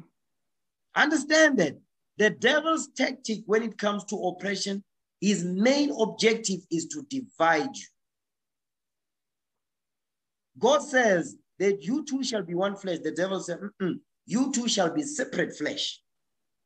You must be on one mind. He says, no, you must be on separate mind. You must not be on one accord. You must argue back and forth. Why do you think there's reality so-called TV shows of black women just, you know, disrespecting black men on national TV, Diski Divas and whatnot? Because all of that is an example of how the devil moves. Division, he divides you and he conquers you and he rewards you for the fact that he divided you. Now you think you better than your husband. You think you better than the black man. That's how the devil moves. That's how the white man operates back. Division. That's why there was such an uproar where Julius when Julius Malema went to Shim to visit Msholozi and they were they were having a Twitter discussion. So no, let's meet for tea. That created a, a whole uproar on Twitter and Facebook and Instagram. They were tweeting all over the place because they were coming together to discuss things that they did not even want to discuss in public. But in news, that demonic channel, they were uh, they were unhappy about that. Because that's how the devil moves. You understand? Division. Now go back to Proverbs 3:31. Proverbs chapter 3, verse 31. Read. Envy thou not the oppressor, and choose none of his ways. You see that? It says, envy thou not the oppressor and choose none of his ways. One of the ways of the oppressor is what is division. And Eve chose the, the, the, the he chose, Eve chose the way of the oppressor, which is what? To separate herself from her husband. How? When she was told that you can be equal or above your man. That's the route she took. You see that thing? She took that road. That's how that marriage was oppressed. Now, let's go back to Genesis 3. Genesis chapter 3. Let's go back there. Genesis 3 and verse 5. Read that again for me. Genesis chapter 3, verse 5. Mm-hmm. For God does know that in the day ye eat thereof, then your eyes shall be opened, and ye shall be as gods, knowing good and evil. And ye shall be as gods, knowing good and evil. Now, this goes into a married couple, right? Now, I'm going to deal with the single sisters now. Because remember, what we dealt with in terms of marriage, in terms of marriage, is that the, your marriage is going to be divided. But you can still be together because Adam and Eve were still together, but spiritually they were divided. You see that thing? They were together, but spiritually and mentally, they were not on the same plane. So he, the white man does not even have to be there in the midst, but mentally he's there to divide you. You see, there's division in the house. So guess what? And you're gonna the, the quickest way to see if your wife is of the devil, or she's listening to the devil, or she believes the philosophies that the devil teaches from the time of Genesis, you understand, is what? Resistance. That's the sign.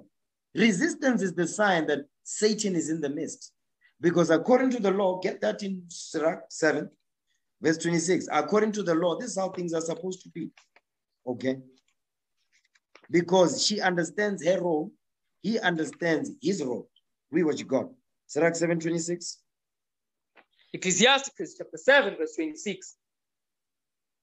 Hast thou a wife after thy mind? Forsaken not. but give not thyself over to a light woman. A light woman is a woman whose mind is not after your mind. That's a light woman. You know why she's a light woman? Because if there's division in the house, that means that marriage is not going to succeed. You get children, the children also will grow up confused. Why? Because her mind is not after your mind. Guess what? That means that the nation that you, the two of you are going to create, that nation will be divided because the children will grow up being spiritually disconnected from their men. Now the nation is broken. You see that thing? So your mind has to be after your husband's mind. The minute your mind is does not want to um, follow after your husband's mind, who's following after Christ, that means you are a light woman. And that's how that that tells you that Satan is in the room. You're not alone anymore. It's not just the two of you. No, Satan is present. You understand? Now watch this. Now let's deal for the single sisters. Watch this. Give me the book of Numbers 12. We're going to start at verse. Hmm, let me see where I want to start. Numbers 12. We're going to start at verse 1. You know what? Hmm, let me see. Yeah, read verse 1. We're going to read down. Numbers 12 and verse 1. We're going to read down. Watch this. Numbers chapter 12, verse one Mm-hmm. And Miriam and Aaron spake against Moses because of the Ethiopian woman whom he had married, for he had married an Ethiopian woman. So Moses married an Ethiopian woman, right? Watch this because he was away for 40 years. You understand? Watch this. Next verse. Go ahead. And they said, Has the Lord indeed spoken only by Moses? Has he not spoken also by us? And the Lord heard it. Now, this is Miriam and Aaron discussing. They are doing a back and forth about what Moses is doing. You know why they are, they are doing this? I'm gonna, I'm gonna show you. Because the key is, had the Lord indeed spoken only by Moses? So has Moses, the Lord the Lord is only dealing with Moses. You understand? Had he not spoken, is, has he not spoken also by us? And the Lord heard it. You know what's going on here? Miriam envied, uh, envied Moses' position. She envied. She had the spirit on, of envy on her. You understand? She was disrespectful.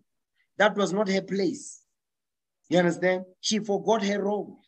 That was the problem with Miriam at this point. Guess what Miriam was? A feminist. Yeah. Miriam was a feminist. This is the feminist movement. Remember, the feminist movement is started in Genesis 3, verse 1 through 5, with Eve and the serpent. Miriam is continuing the same thought process here.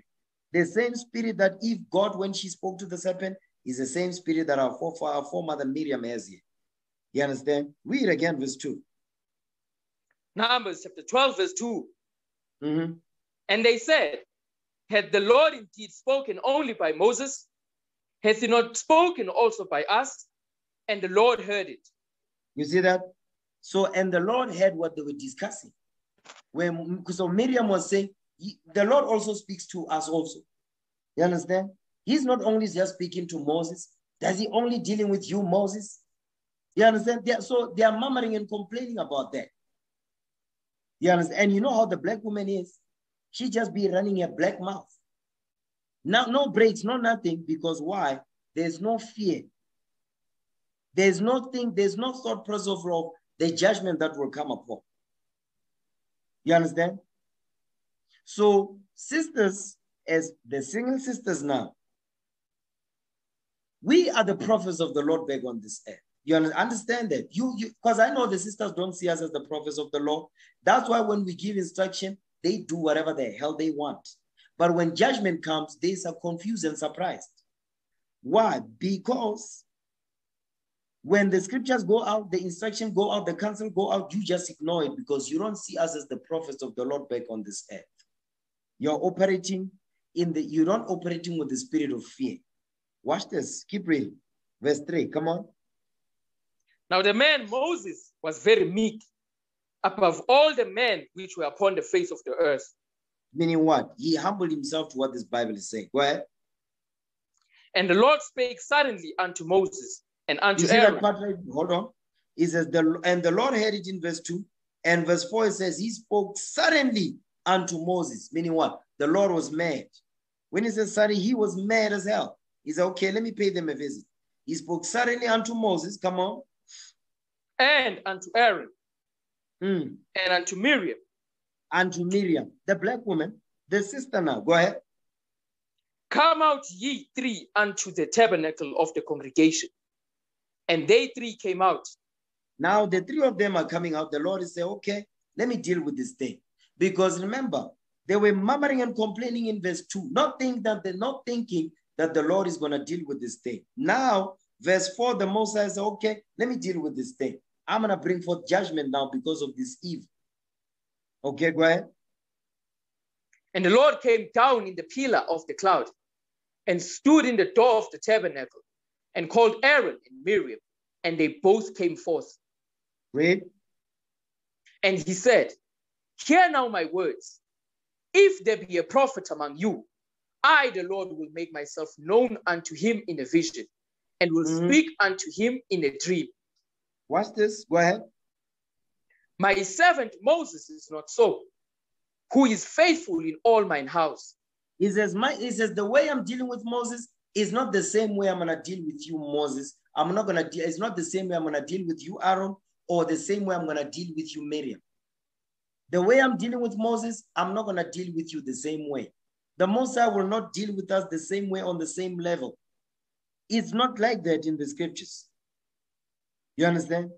So the reason why I'm bringing this out is because when it comes to single sisters, because why? You know what? Let me not jump the gun. Keep reading. Let's keep reading. Watch this.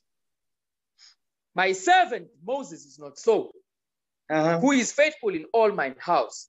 Who's faithful in all my house? Read on. With him will I speak mouth to mouth, even apparently, and not in dark speeches. And the similitude of the Lord shall he behold. Wherefore, then were ye not afraid to speak against my servant Moses? You see what the question is? Were you not afraid? Were you not scared to speak against my servant Moses? Because when you are given counsel from leadership, I'm talking about the single sisters that are not married because I'm a father to you. You understand? I'm your daddy, I'm your father. So now, when you are given instruction, you don't do it, you are, you are not afraid to speak against the dignities that the Lord has set over you to guide you and teach you. So much so that you will do things so diabolical, you don't even see the evils that you are doing until the Lord brings it out and say, okay, you don't want to listen, I'm going to put you on blast now on this day. Nobody going to stop it. I'm going to put you on blast to shame you. Why? Because you don't listen, you're not afraid to speak against what the prophets that I'm setting up. Okay, go ahead. And the anger of the Lord was kindled against them, and he And the departed. And the anger of the Lord was kindled against them, the anger, the anger, the anger of the Lord was kindled against them. When you speak against the leadership, you go against the instruction that your fathers are giving you. Guess what? The anger of the Lord will be kindled against you. Because guess what? When you questioning the men of the Most High, you speaking evil, you do whatever the hell you want, guess what? You are disrespecting the men that the Lord has set up. Because what are you doing? You think you, you can be on the same level as the men that the Lord has set up. You think you're on the same level. You think you are equal to them. So you need to be humbled by the Most High God. Keep reading. Watch this. And the cloud departed from off the tabernacle, and behold, Miriam became leprous, white as snow. That's the judgment. It says Miriam became leprous, white as snow. Because the reason why Miriam was the one that was judged like that was because that was not her place to speak against that, to speak about. That was not, Aaron was fine, but not, not Miriam. She, that was not her place. That was not her role. She was out of order. You understand? So that's why the Lord had to humble her by what? By putting, by bringing leprosy upon her to make her unclean. Go ahead. And Aaron looked upon Miriam, and behold, she was leprous. And you see that? She's like, damn. Because the Most High God's anger was kindled against Miriam because she was running a black mouth. She was busy on social media talking to a boy. The Lord said, No problem. I'm going to put you on, I'm going to expose you for your evil so you can be humbled because you've never been humbled as a child when you're growing up. Now you're in your adult age, you're doing evil. You don't want to listen to leadership. Are advising you all the classes that are coming up. You don't learn nothing. One year after the other, you just sitting there. You don't want to learn nothing. And then when you do evil, you don't even thinking about the fact that the angel of the Lord is standing right there by you, recording everything you're doing. Then the day when judgment comes, it's like you're confused. They hate you. They don't like you. Something wrong. Eh, no, mm -mm. no, because why? You didn't think about it when you were doing it. Now, when it's judgment time, you are surprised and, and confused. You understand? That's the mindset of a feminist, of a feminist. Guess what? Merit and unmerit is the same mindset. Feminism. Feminism is of the devil. Is the reason why the black community is destroyed because it started during the time of Adam. It continued on, even in the wilderness. All the miracles that Moses performed, Miriam was still running a big black mouth. They saw parting of the Red Sea. She still had the nerve to run a black mouth. You can't make it up. Keep reading. Numbers chapter 12, verse 11. And Aaron said unto Moses, Alas, my Lord, I beseech thee, lay not the sin upon us, wherein we have done foolishly, and wherein we have sinned. Because now, now Aaron is changing his tone. He says, he's even saying, My Lord. He's begging Moses now for what just went down. Go ahead. Let her not be as one dead, of whom the flesh is half consumed when he cometh out of his mother's womb. Because she was leprous now, white as snow. Read on. And Moses cried unto the Lord, saying, Heal her now, O God, I beseech thee. Now Moses is speaking. He said, Okay, I'm going to pray to the Lord to get yourself healed. But watch what happens. Listen what the Lord is saying right here. This is some of you sisters, because you still have that millennium mindset. Married and unmarried, you still a millennial. Because this millennial is this is the ungrateful generation. The ungrateful and lazy and sneaky and deceitful generation, that's them. That's generation Y, generation uh, I'm me, generation you can't tell me nothing. That's them. Watch what the Lord says about that behavior. Verse 14. Go ahead. And the Lord said unto Moses, If her father had but spit in her face, should she not be ashamed seven days? You see what the question is? The Lord is saying to Moses, If her father had but spit in her face, should she not be ashamed seven days? Because when you were leprous, for those seven days, Miriam was what? She had leprosy on her, on her skin. She was a white woman. So now what's happening here says, if her father had but spit in her face, if her father corrected her when she was young, she was not going to speak against the men. She was not going to open a black mouth and run a mouth against the men of Israel, the leaders that the Lord is setting up. She wasn't going to do that. But because her father didn't do that. That's why she's doing it. Such is some of you, the sisters. You come into, you come in Israel, you were just doing evil in your father's house. Married and unmarried, you were doing evil in your father's house. Your father didn't check you. She did not correct you.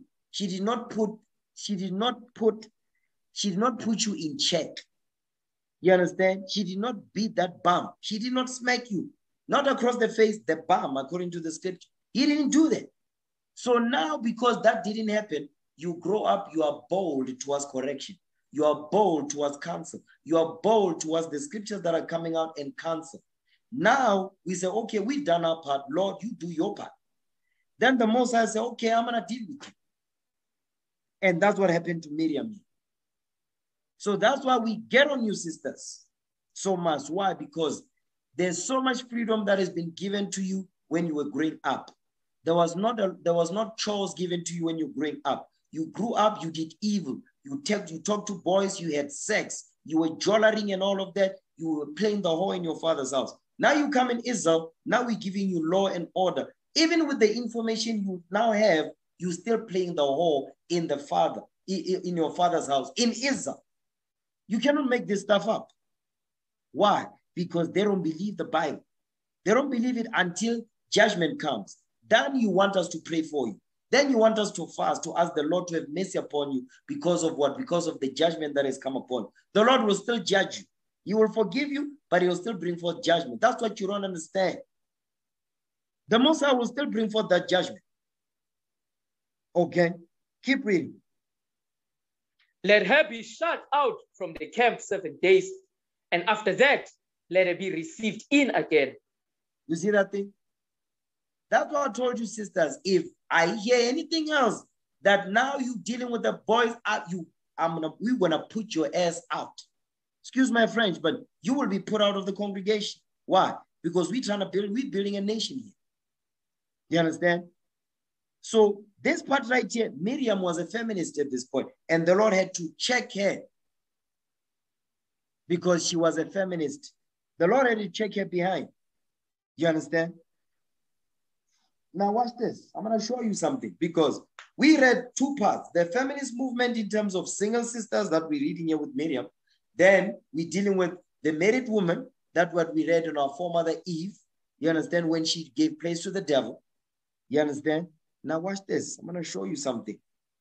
Because go back to Proverbs 3:31. Remember, there is all of this is happening is because of the Eve's envy towards the serpent and the, the fruits of the lies that the serpent came with in order to deceive into thinking she can be equal or above. That's the feminist movement as well for married women. So the feminist movement was didn't just hit the married women, it also hit the unmarried sisters. You understand? Watch this. Hmm. Proverbs chapter 3, verse 31. Go ahead. Watch, the read Proverbs. I'm going to show you something. Read it. Proverbs chapter 3, verse 31. Come on. Envy thou not the oppressor, and choose none of his ways. He says, Don't envy your oppressor and don't choose any of the ways of the oppressor. One of the ways of the oppressor is what? Feminism. You understand? And guess what? The oppressor does not push feminism in his house. The oppressor pushes feminism in the nation of Israel. And who's the oppressor using? The white man, the devil. Who's he using? He's using the black woman. He's using the black woman. That's why you see, look at Bu Boity. Look at Bu um Bu, Bu Kelukuman. Look at Bu um who's this? Khanyi Mbau. Look at all our sisters in the world. You understand? There's celebrities and all and all that. Look at the stuff that they are doing. The envy of the oppressor. You understand? Now, I'm to deal with that feminism stuff. Watch this. I'm going to show you something here. So we understand what this feminism is all about. Because I'm going to show you, because when you read the history of feminism, there's different waves of it. There's different waves of feminism. And I'm going to take you through all of them. Watch this. Okay? We're going to start with the first wave of feminism. Okay?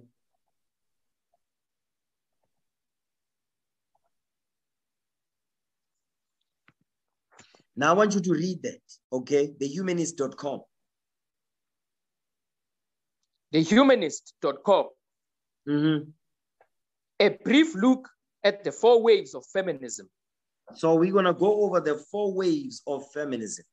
Okay, let me see if I cannot uh, minimize this thing.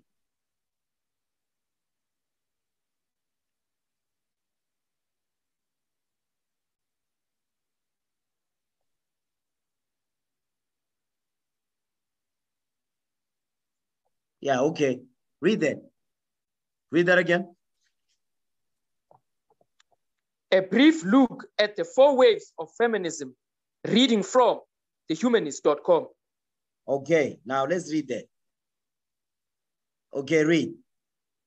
The modern day humanist movement has embraced feminism, but like various types of humanism, the tension between the various waves of feminism is ever present.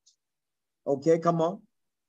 Established feminist movements within the United States have primarily fallen into four different time periods. Mm-hmm. Read. The, di- the different movements often term first wave, second wave, third wave, and fourth wave feminism share similar goals but different characteristics of action. So these four waves of, fe- of feminism, they share different goals, but the fourth wave of feminism, that's the main agenda. You understand? Give me that in Revelation 2.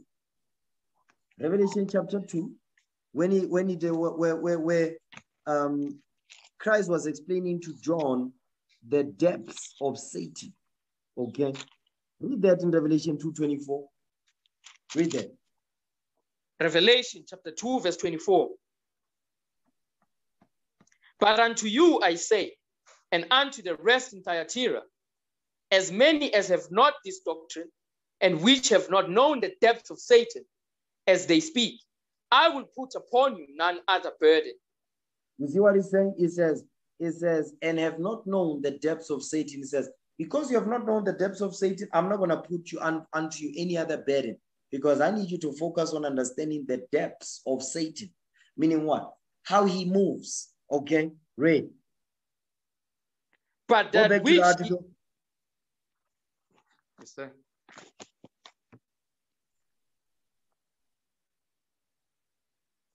These various waves of feminism are interwoven into women's rights, civil rights, and social justice movements.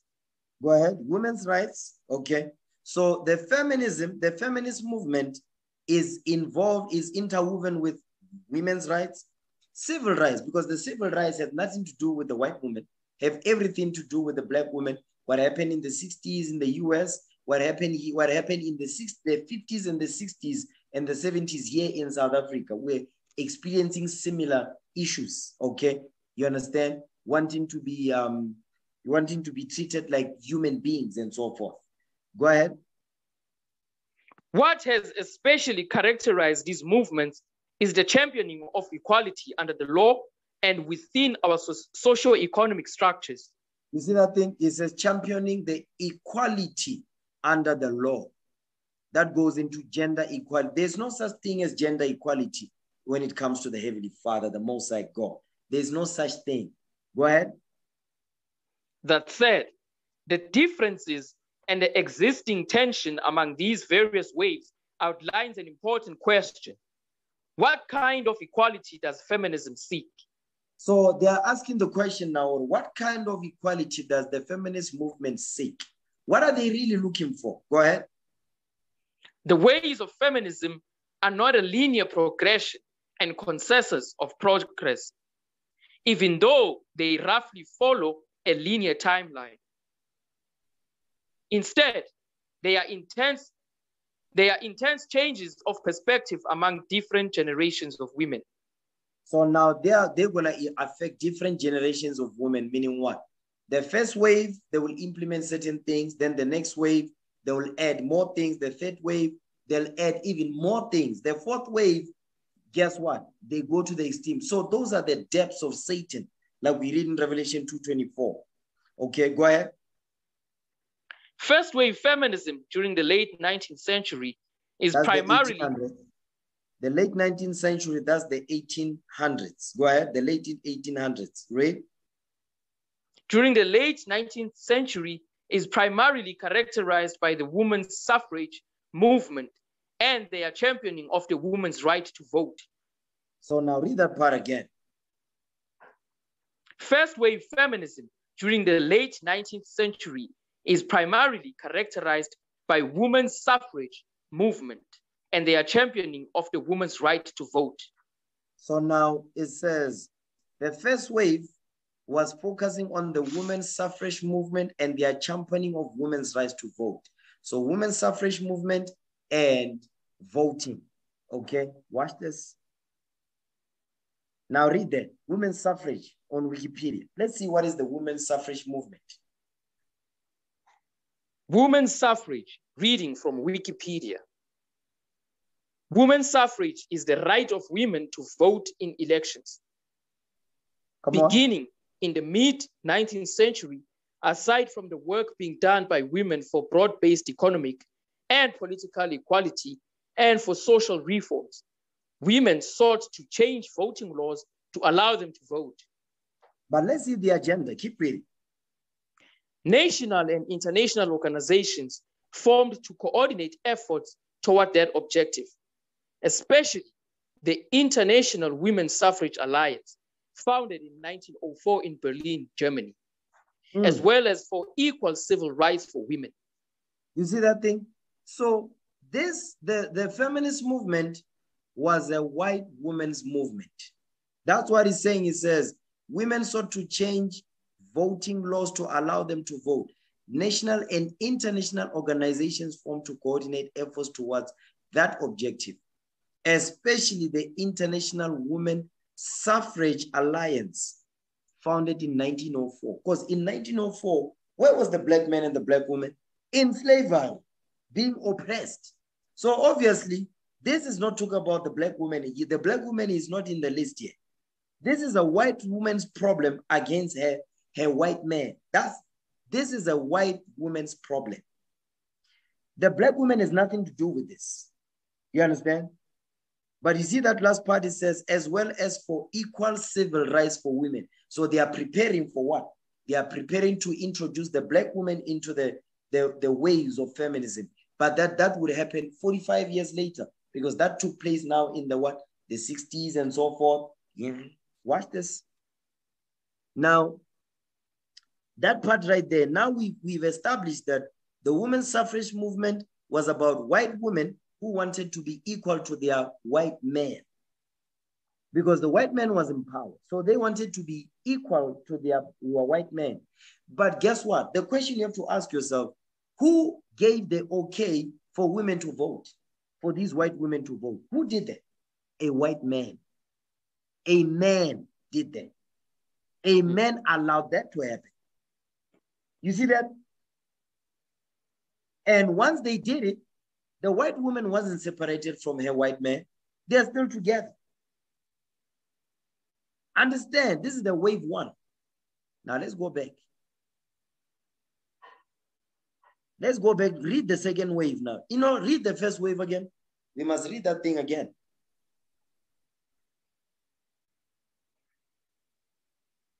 Reading from the humanist.com.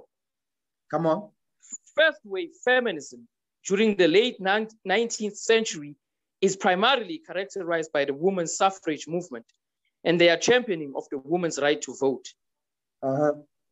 While many, while many, con- excuse me, sir, while many While many- continue, while many continue to celebrate feminist leaders like Susan B. Anthony and Elizabeth Cady Stanton, the women's suffrage movement largely excluded and discriminated against women of color, including suffragettes such as Ida B. Wells, Ellen Watkins Harper, and Sojourner Truth. So now these women, these are black women. So the first wave did not include the black woman. The first wave, the black woman was not involved here because both the black man and the black woman was on one accord. The black woman was still wearing was was still wearing dresses. You understand? We still got married. They still got married and so forth. We took care of our families and all that. The black man and the black woman was in one on one accord at this point. During the time of the first wave of the feminist movement, that was on one accord.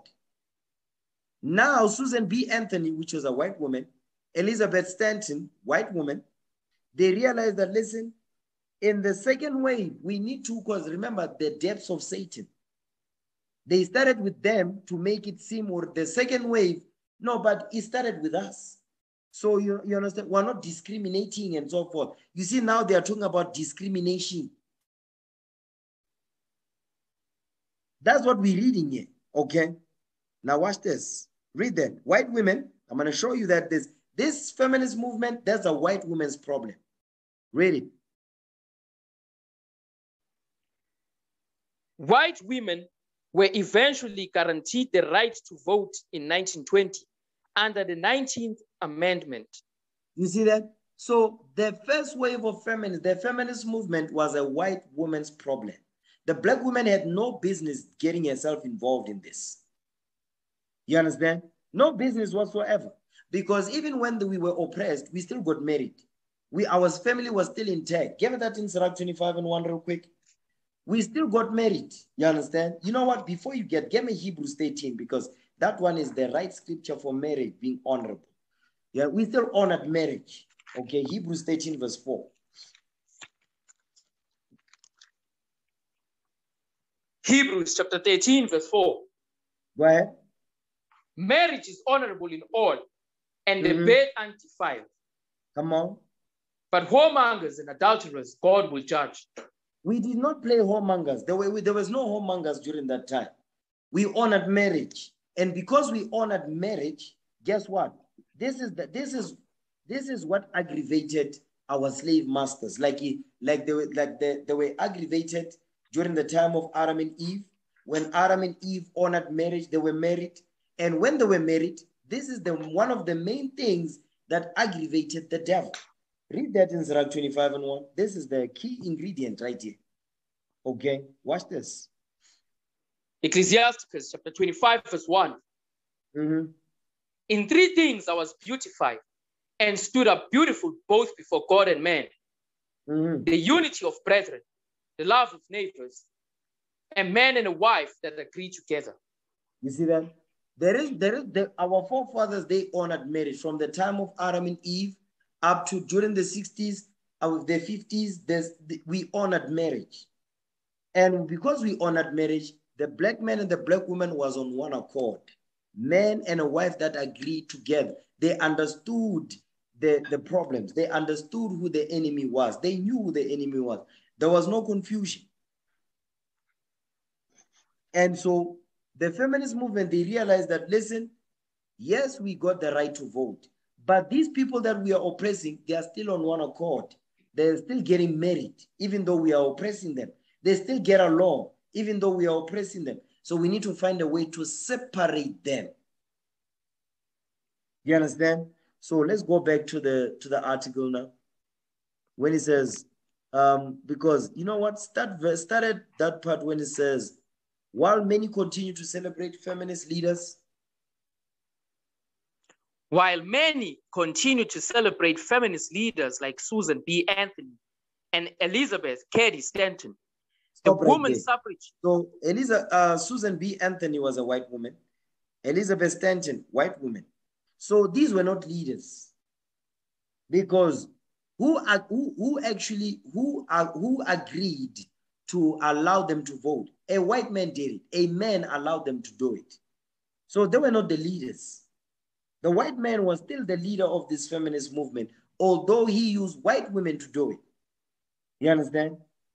He used his white women to do it, but he's the one that made the final call or okay, we're gonna allow you to vote now. You understand? Read on.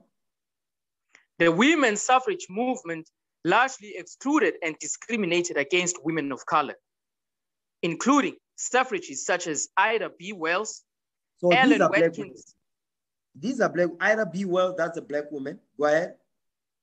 Ellen Wen- Watkins Harper, and Ellen Sojourner Truth. Ellen Watkins Harper, Ellen Watkins Harper, and Sojourner Truth. These three black women, they are the ones that was now what? Because when you read about them, they were extremely exalted. You understand? They were the ones that were pushing feminism in the black community. That's why today you still see black women all over the earth. They are pushing this, they call it black feminism. You understand? They have no business getting themselves involved in this stuff. But because envy of the devil, that's why they are doing it. Read.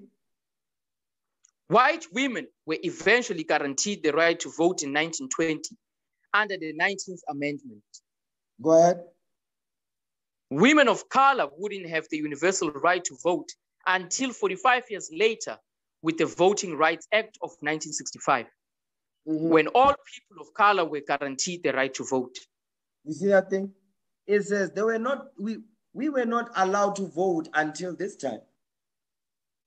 And we were not allowed to vote in South Africa until 1994. Think about that. Hmm. Let's look at the second wave of feminism. Second wave feminism from Mhm. roughly the 1960s to the 1990s encompassed far more issues such as pay equality, reproductive rights, female sexuality, and domestic violence. Stop right there.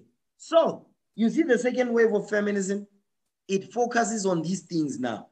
It says it encompassed far more issues such as pay equality, meaning what? Men and women must be paid equal, reproductive rights, female sexuality, and domestic violence.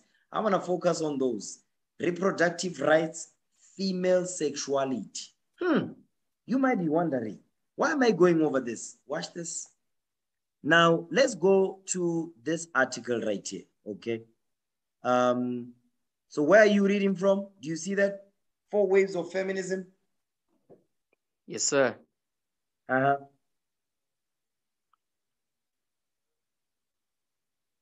Reading from Pacific Pacific University, Oregon. Your Pacific University, Oregon. Okay. So read that. Pacific University, Oregon. Four waves of feminism. Four waves of feminism. Now we're gonna jump down. I wanna scroll down a little bit. Mm.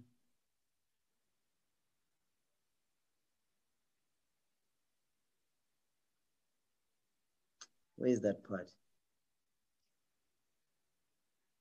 Yes, this part right here. I want you to read this part.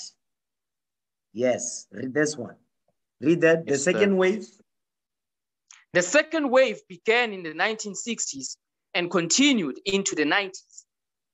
This wave unfolded in the context of the anti war and civil rights movement and the growing self consciousness of a variety of minority groups around the world. The minority groups is talk about us because they say we're a minority, but we outnumber the sand of the sea. So that's just a, it's a social, it's it's uh, it's, it's it's it's it's um, psychological warfare.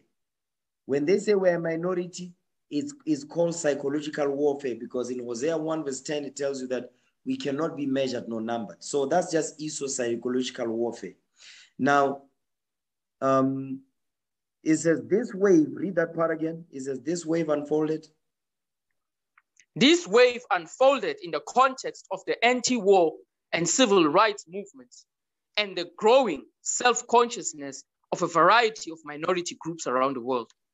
So now you see that part right there when it says um, unfolded in the context of the anti-war. That goes into what?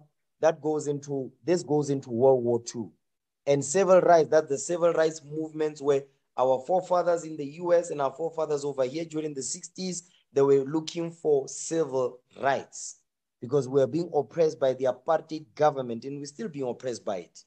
Go ahead. The new left was on the rise, and the voice of the second wave was increasingly radical. Come In on. this phase, sexuality and reproductive rights were dominant issues, Stop and right much there. Hold on, wait, wait, wait. Read that part again. It says, in this phase, meaning the second wave of feminism, what was pushed the most? Read that part again. in this phase, sexuality and reproductive rights were dominant issues. Sexuality and reproductive rights were dominant issues in the second wave of feminism. Keep that in mind. Read on. And much of the movement's energy was focused on passing the Equal Rights Amendment to the Constitution, guaranteeing social equality regardless of sex. You see that thing? Social equality regardless of sex. Keep reading. Watch this. This phase began with protests against the Miss America pageant in Atlantic City in 1968 and 1969. Read. Feminists, feminists parodied, parodied what they held to be a degrading cattle parade that reduced women to objects of beauty dominated by a patriarchy that sought to keep them in the home or in dull, low, low paying jobs. Now stop right there. You see that thing is as feminists parodied what they held to be degrading cattle parade that reduced women to objects of beauty dominated by patriarchy that sought to keep them in, in the home, meaning what? A woman being in the meaning taking care of your household. Hold that. Give me that in Sirach 26. You see, the feminist movement is a white woman's problem. You understand? Now, in the 60s, they are bringing the black woman into this movement. because the, the white woman wanted to work in industrial um in in in in, this in this uh in these industrial warehouses you understand to work male jobs and so forth. That's when now the wearing of pants started to become what? To become a thing. Because they were complaining that no when we are wearing skirts and dresses they are being caught by these machines that we work we work on in the factories. But you have no business working there that's not the jobs you know lifting stuff up. That's not your job. So they wanted to be equal to their men even on that level. Started with voting. Now it goes into what? Working the same jobs and getting paid the same jobs. And they realize or they are not their movement is not that big because they themselves they are the minority. We are the majority. So they brought the black women in. You see that? To take advantage of the civil rights movement watch this get Sirach 26 okay Sirach 26 verse 16 Ecclesiasticus chapter 26, verse 16. go ahead As the sun, when it arises in the high heaven, so is the beauty of a good wife in the ordering of her house. You see that? It says the beauty of a good wife is how she orders her house. So what we're reading here, it says there, there it says what women are used as objects of beauty dominated by patriarchy. How did they come into the world? Because they say patriarchy is a is they, they make it seem like patriarchy is a bad thing. No, patriarchy is fatherhood. Patriarchy is the society that is run by men, which is how the world is created. Because God is a man. Get that in Exodus 15, verse 3. God is a man. You understand? God is not a woman. This is a man's world. Okay? It is what it is. It's a man's world. The sisters be talking about, no, I want to be independent. But guess what? You are still dependent on the systems and the world that was built by men. But you say you want to be independent. Exodus 15, verse, verse 3. Read it. Exodus chapter 15, verse 3. Go ahead. The Lord is a man of war. The Lord is his name. You see that the Lord is a man of war. The Lord is a man of war. You understand? When because the feminist movement is anti-patriarchy. They anti-men. They hate men. That's the, the that's the problem with the feminist movement. They hate men. But the reason why they were born, you see, the feminist movement is the same as the LGBT community. Because the LGBT community, they hate men and women relationships. You understand? They hate that. But Bona, they cannot explain how they came into the world. So it's the same thing. I'm going to show you how slick these waves are. These waves of feminism, they are very slick because they, are, they say they are anti-patriarchy. You're going to see the fourth wave of femi- feminism. I'm going to show you what it is. You understand? Let's keep reading. He says, what is in the on the article? It says dominated by, by patriarchy that sought to keep them in the home. Yeah, take care of the kids. Look, because looking after the kids and raising them up, that's a very important job because you dict- dictates how the nation is going to look like. So, Bona, that was not enough. You understand? Keep reading. The radical New York group called the Red Stockings staged a counter pageant in which they crowned a sheep as Miss America and Mm. threw oppressive feminine artifacts such as bras, girdles, high heels, makeup, and false eyelashes into the trash can. You see that thing? Meaning you want to be like men. We want to look like men now. You understand that? So now I just wanted to expound on the second wave, but I want to go back now because I said there's something I want you, brothers and sisters, to keep in mind the focus of the second wave of feminism. So go back to the second wave right here. Let's go back to this paragraph. This paragraph right here. The second wave, it focused on two main important things. You understand? Read that. The second wave began in the 1960s and continued into the 90s. Go ahead. This wave unfolded in the context of the anti war and civil rights movements and the growing self consciousness of a variety of minority groups around the world. The minority groups making reference to us, but we are not a minority. Read on. The new left was on the rise, and the, and the voice of the second wave was increasingly radical. Mhm. In this phase, sexuality and reproductive rights were dominant issues. Stop right there. So sexuality and reproductive rights were dominant issues in the second wave of feminism. Now, let's go to the this article now. Now read this article. Okay, read that article right there. This is amnesty.org. Okay, read that. Reading from amnesty.org. Sexual and reproductive rights. You see the way that the, these the way that this white man is demonic. You see what they are showing? They have to pay, they have to show this picture to say, you know, this thing, they are letting you know that they want to go to even to the rural areas to push this feminist garbage because they know that in the rural areas, that structure is still there. The man knows his role, the woman knows her role. They want to end that now. Okay? Watch this. Now read the overview now. This is this part right here is the second wave of feminism. Read that. Overview. Whoever you are, wherever you live, all the Mm. decisions you make about your own body should be yours. You see that thing? Whoever you are and wherever you live, rural or in the suburbs, your body belongs to you. That's what they are saying, and you have a right. That's what they are saying. That's the mindset of the these feminist, you know, these feminist women. The black woman has joined that thing. You understand? And she's doing worse than the heathen. Let's get that in Jeremiah. I think it's in Jeremiah. Let me see. I believe it's Jeremiah 5. You understand? Let's get the book of Jeremiah real quick. Because the Most High, he warned us about this thing. Okay? Second Chronicles chapter 33, verse 9. Mhm. So Manasseh made Judah and the inhabitants of Jerusalem to err and to do worse than the heathen, What did he do? and to do worse than the heathen. And to do worse than the heathens. So whenever we get involved in evil, the nations know that if they bring us to help them, you understand, in their evil, we're going to do worse than them.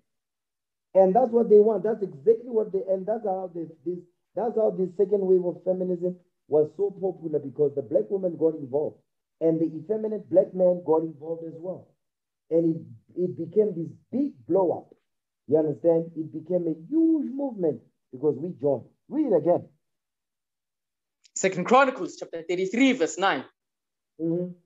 So Manasseh made Judah and the inhabitants of Jerusalem to err and to do worse than the heathen, Read. whom the Lord had destroyed before the children of Israel.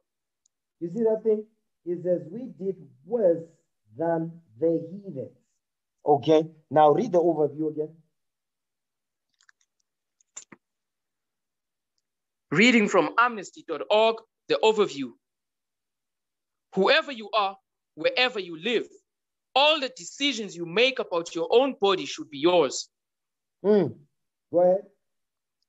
Yet, all over the world, many of us are persecuted for making our own choices, and many more are prevented from making any choices at all. Governments are trying to dictate who we can kiss, who we should love, how we must dress, how we identify ourselves when we have children, when we have children, and how many we have. I want you to read that paragraph again. Yet, all over the world, many of us are persecuted for making our own choices, and many more are prevented from making any choices at all. Governments are trying to dictate who we can kiss, Mm. who we should love, how we must dress, how we identify ourselves, when we have children, and how many we have. The government doesn't dictate that. They are the ones that are the, the, the feminist movement. Again, this is their demands. They say what? They say sexuality and reproductive rights. That's what they that's what they want. Because guess what? We we we we still believe we believe in what the Bible says. Male and female marriages. You understand that? And when you get married, you have as many children as you want. So Bona, they don't want that. That's why they say they want to have reproductive and sexual rights. That includes when you get married, you have the right to say, I don't want no kids. And if I do, this is how many I want. And your husband says, Me, I want as many kids as I want. You say, Mm-mm, Me, I only want two. That's the feminist movement. That's the second wave right there. Keep reading. Sexual and reproductive rights mean you should be able to make your own decisions about your about your body. And you see that thing? Is a sexual and reproductive rights mean you should be able to make your own decisions about your body. You make your own decision about your body. But guess what? I'm going to show you what, what, where this is going. Keep reading. Get accurate information about these issues uh-huh. access sexual and reproductive health services, including contraception. Stop right there. So they're saying sexual and reproductive rights, they include what? Access sexual and reproductive health services, including contraception, meaning what? They are, they are what? They don't, they are, they anti-patriarchy. So the feminist movement is against men. The feminist movement is against men. That's why it says including contraception. Meaning what? I if I don't want to get pregnant, I don't want to, I can just go and get an injection. I can get a contraceptive so that when we when we when you deal with your husband, you don't fall pregnant. Because when you don't, you're not ready for kids. That's the feminist movement. That's the feminist mindset. Understand that. Keep going. Choose if, when, and who to marry. You see that thing? Read on. Decide if you want to have children and how many. Read that again. Read that again. Decide if you want, chil- want to have children and how many. That part right there. It says, do you decide if you want to have children and how many? Hold on a second.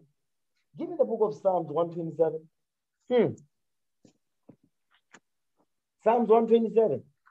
You sisters that are planning to get married, you better make sure that you want kids.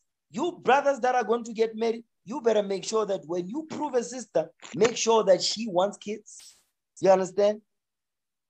You better be on the same playing field because if you're not, guess what? That sister's not ready to be married. That sister don't want to be married. She wants a wedding, but she don't want to be married. Understand that?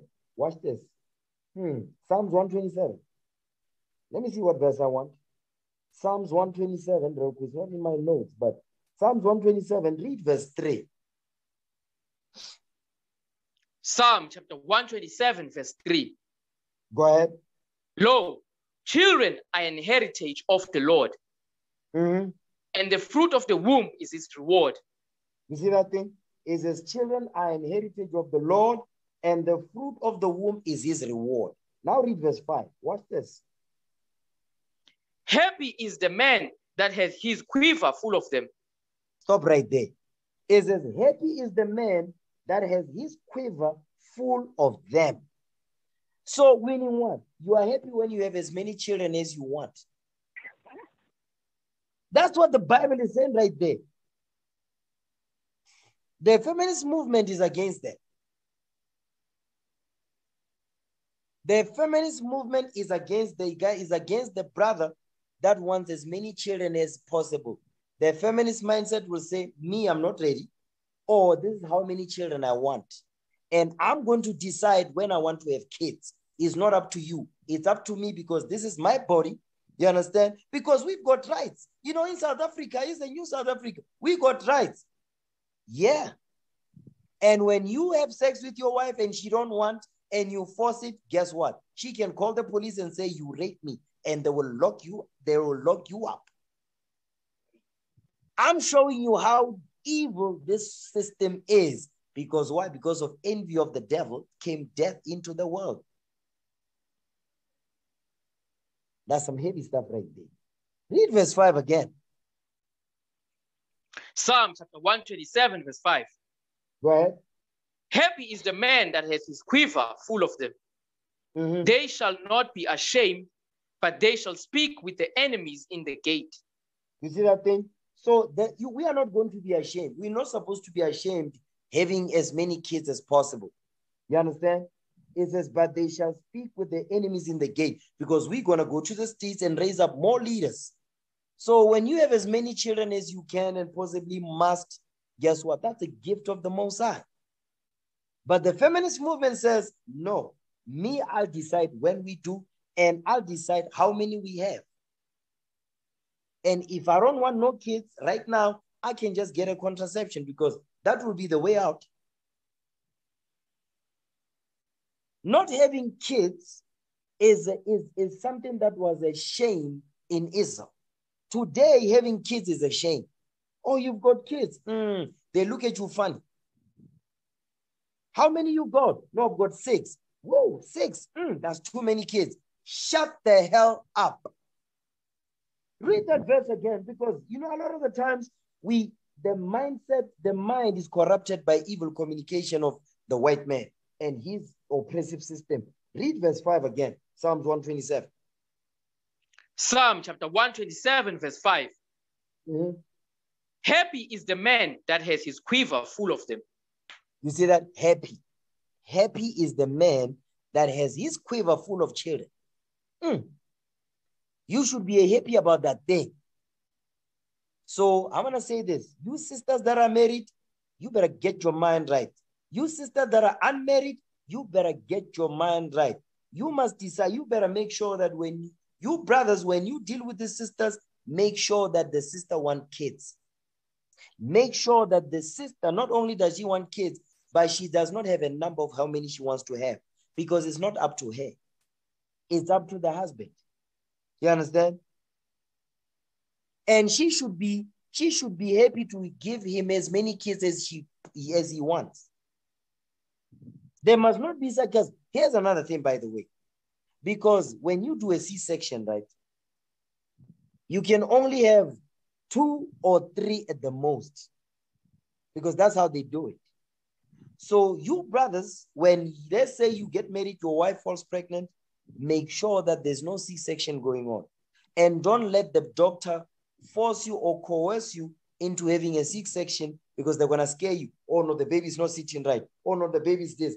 Listen, Negro, if there's a pain, put an why don't you give an epidural when so that the, the pain can subside, but the baby's gonna come out. And guess what? The sisters will opt for the for the C-section. They will, they will opt for the C-section because they know you can only have two at the two or three at the most. Three will just be pushing it. Because once you have this, after the second one, you know what they do at the at the at the hospital? They close your tubes because they say the third one is going to be a high risk pregnancy. I'm just telling you right now that you don't fall for the okie doke. Don't fall for that. You understand? Don't fall for that thing. Now watch this. I'm gonna stay. I'm gonna spend some time here. Okay, give me the book of First Samuel because having children is always a glorious thing. But today, because of the feminist move, the second wave of the fem- feminist movement, now is an evil thing now. You understand? Now, women that are married, they they they they indirectly telling you, this is my body. I decide what I want. Oh yeah. Give me First Samuel 2. Give me so no, First Samuel 1. First Samuel 1, verse 2. Now, this is our, our forefather Elkanah. He had two wives, Peninnah and Hannah. Hannah was unable to give birth because she was barren. Peninnah had children. Now watch this. First Samuel 1 verse 2. Read that. First Samuel chapter 1, verse 2. Go ahead. And he had two wives. The name of the one was Hannah, and the Mhm. name of the other Peninnah. Go ahead. And Peninnah had children, but Hannah had no children. But Hannah had no children, right? So she was barren. Now watch this. Keep reading. And this man went up out No, of no. his city. You know what? No, no, that's fine. Jump down to verse 5. Let's just get to the point. Verse 2 was to, I just wanted to show you that Elkanah had two wives. You understand? Hannah and Peninnah. Read verse 5 now. And Hannah had no children. Wait. First Samuel chapter 1, verse 5.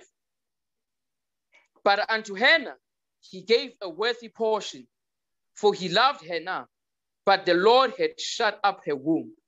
Who, who shut up her womb? The Lord had shut up her womb.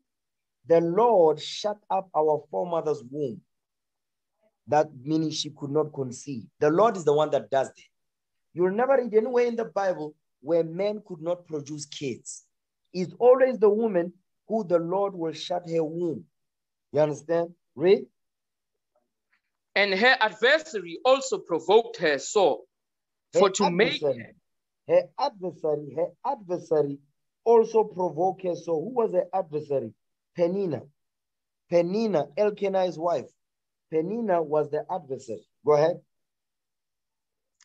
And her adversary also provoked her sore, for to make her fret, because the Lord had shut up her womb. So now she was mocking her. You understand? She was mocking her and she was mocking her and disrespecting her and so forth because she could not conceive because the Lord had shut her womb. You understand? So now she became a reproach.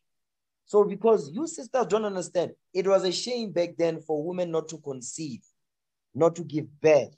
But today is something that is celebrated because now you still want to live your life. You still want to act like you are 14 and 16 year old. Hmm? But you want to get married? No, you don't want to get married. You want a wedding, not marriage. So I want you sisters to make sure that that's what, because you say, no, I want a Lord, but the brother don't know when you don't want kids. The brother don't know when you want to dictate how many you want and when you want to have kids. That's some evil stuff. Okay. Look at our, look at what's happening to our foremothers here. You understand? Read. Go ahead. And as he did so, year by year, when she went up to the house of the Lord, so she provoked her. Therefore she wept and did not eat.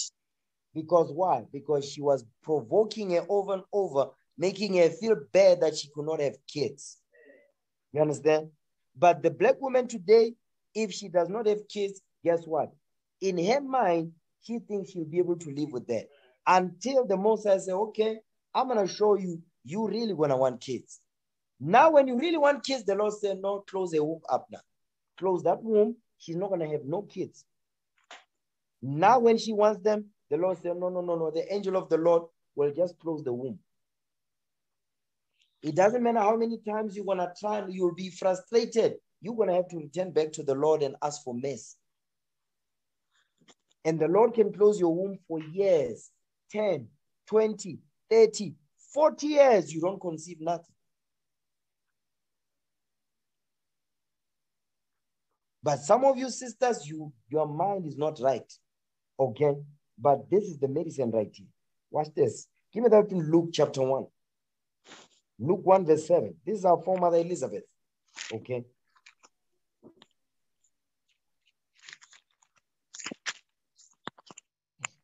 Luke chapter 1, verse 7. Go ahead. And they had no child because that Elizabeth was barren, and they mm. both were well stricken in years. You see that thing? Elizabeth and our forefather Zacharias, they had no kids. She was barren. You understand? And they were stricken in age. That means from the time they got married and they were they, they went well beyond 50 years and so forth and all that. Guess what? They still did not know, they didn't have no kids.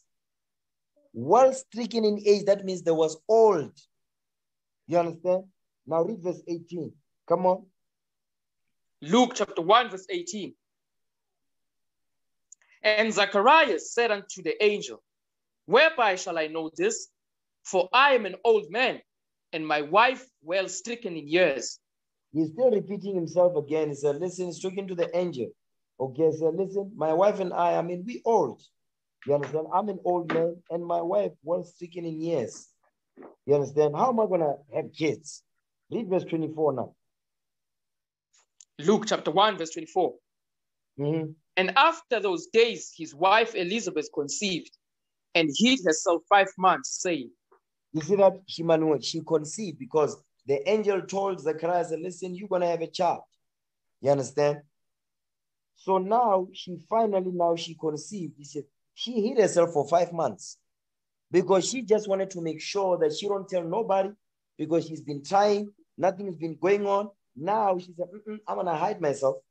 I want to make sure that I'm really, you know, I'm developing well and all that.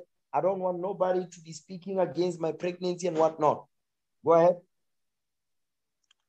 Thus had the Lord dealt with me in the days wherein he looked on me to take Mhm. away my reproach among men, To do what?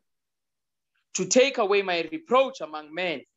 To take away my reproach among men. My reproach among men. Because when men look at you, they're gonna say, "Hmm, something wrong with that sister. How come she's not giving birth? How come she's not falling pregnant? What has she been doing before she got married? Because these are the things that are gonna be now spoken about against you. You understand? Because why? You've got a feminist mindset. Feminism is of the devil. Because look at our foremothers here. They appreciated that thing or listen, you know what? I'm pregnant now. Now watch this. Get that in Genesis 16. Okay. Genesis chapter 16. We're gonna read verse 2. Watch this. Hmm. Genesis chapter 16, verse 2. Read. And Sarai said unto Abram, Behold now, the Lord hath restrained me from bearing. Hmm. I pray thee, go in unto my maid. It may be that I may obtain children by her. And Abram hearkened. So hold on, hold on, wait, wait, wait, wait. Remember what read, listen to what we just read. Read that verse again. Watch this. Genesis chapter 16, verse 2. Go ahead. And Sarai said unto Abram, Behold now, the Lord hath restrained me from bearing. Mhm. I pray The Lord had done what? the Lord hath restrained me from bearing. The Lord has restrained me from bearing, meaning the Lord has restrained, meaning the Lord has shut up my womb. I cannot conceive. You see that thing? Read on. I pray thee, go in unto my maid. It may be that I may obtain children by her. And Abram hearkened to the voice of Sarai. So then why I'm, I'm bringing this up because even our foremother Sarah, she could not conceive. She was barren and she was well stricken in age. You understand? And she could not conceive because that was not something that she wanted. She wanted to have kids. You understand? Because when you look at our foremothers, that the, the, the Lord shut up their womb and so forth, guess what? When the Lord did finally open their womb and they conceived, it was a joyous thing. Watch this. Give me that in Genesis 20, Genesis 21. Okay, Genesis chapter 21 and verse, read verse 1. Genesis chapter 21, verse 1. Mhm. And the Lord visited Sarah as he had said. And the Lord did unto Sarah as he had spoken. Read. For Sarah conceived and bare Abraham a son in his old age, Mm. at the set time of which God had spoken to him. Come on. And Abraham called the name of his son that was born unto him, whom Sarah bare to him, Isaac. Go ahead. And Abraham circumcised his son Isaac, being eight days old, as God had commanded him. Read. And Abraham was an hundred years old when his son Isaac was born unto him. So our forefather Abraham was a hundred years old when what? When he begat Isaac. Because when he begat Ishmael, he was 86 years old. But when he begat Isaac, he was a hundred years old. You understand? Go ahead. And Sarah said, God has made me to laugh. God has done that- what? God hath made me to laugh. You see that thing? That was Isaac mean, made to laugh. The name of our forefather Isaac's name means made to laugh. So what we're reading here says, it says, God hath made me to laugh. Joy. You see that thing? Because it was a beautiful thing to have kids. When you don't have kids, that's not a beautiful thing. Even in the bundus, you get married now, all of a sudden you don't, one year goes by, no kids. two years go, no, not even one year. Three months to six months, they see there's no bump on your stomach, something going on. What's going on with that woman? How come she's not she's not falling pregnant? They never they never question the man. Popo and all that, they, the man is never questioned. Because Esau will say, No, you have a low sperm count. That's Esau's witchcraft. There's no such thing. There is no such thing as a low sperm count. That's Esau's witchcraft because they cannot have kids. What we're reading here is it says what our foremother Sarah was excited. She was happy that she was able to conceive. In the Bundus, when you get married, three months, three months to six months, they don't see nothing. Hmm. They start to talk about you. Just like Peninnah was talking about, was talking against our foremother Hannah before she gave birth to Samuel. Guess what? That's the same thing today. So you better take heed to this thing that's coming out this day. Understand that thing. Now, let's move on to the next wave of feminism. Uh, that's all I want on here. Mm. El Salvador, that's our people right there. You know what? Wait, let's read that. The things that they're having a problem with. Okay? These are the feminists now. Feminist movement, wave two. Read that, the problem. Reading from amnesty.org, the problem. New threats to equality and our lives. Many of the recent advances made by brave activists are now under threat. Mm-hmm. In December 2013, India's Supreme Court ruled that same sex relations between consenting adults would remain a criminal offense. Within con- what consenting what? Can you what English are you brothers speaking? Could you read that again?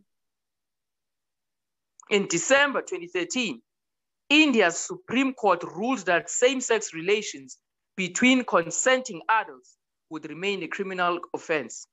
Within consenting adults would remain a criminal offense. So in India, same sex is a criminal offense. Keep reading. In January 2014, the deeply oppressive same sex marriage prohibition right act. You, you, see, you see that part right there? It says the deeply oppressive. You see the emphasis? The deeply oppressive same sex marriage. Same sex, there's no marriage that is between a man and a man. That's not a marriage between a woman and a woman, that's not a marriage. There's no such thing in the Bible as a same sex marriage. Marriage is between man and woman, male and female. Same sex is not a marriage. That's a what? That's an abomination in the sight of the Most High. Read that thing again. In January 2014, the deeply oppressive same sex marriage prohibition act became law in Nigeria. All praises to the Lord for that thing. Go ahead. In January 2014, a new abortion law came into effect in Ireland. The Protection of Life During Pregnancy Act, which continues to criminalize and punish abortion with a 14 year prison sentence. Ah, that's beautiful. That's a beautiful thing right there. This is beautiful. South Africa will never do it because you've got simps as presidents. They just set up puppet kings. They don't have no backbone. I don't know how they bend to tie their shoes. Okay, let's go back. Let's look at the fourth wave, the next wave of feminism. Hmm.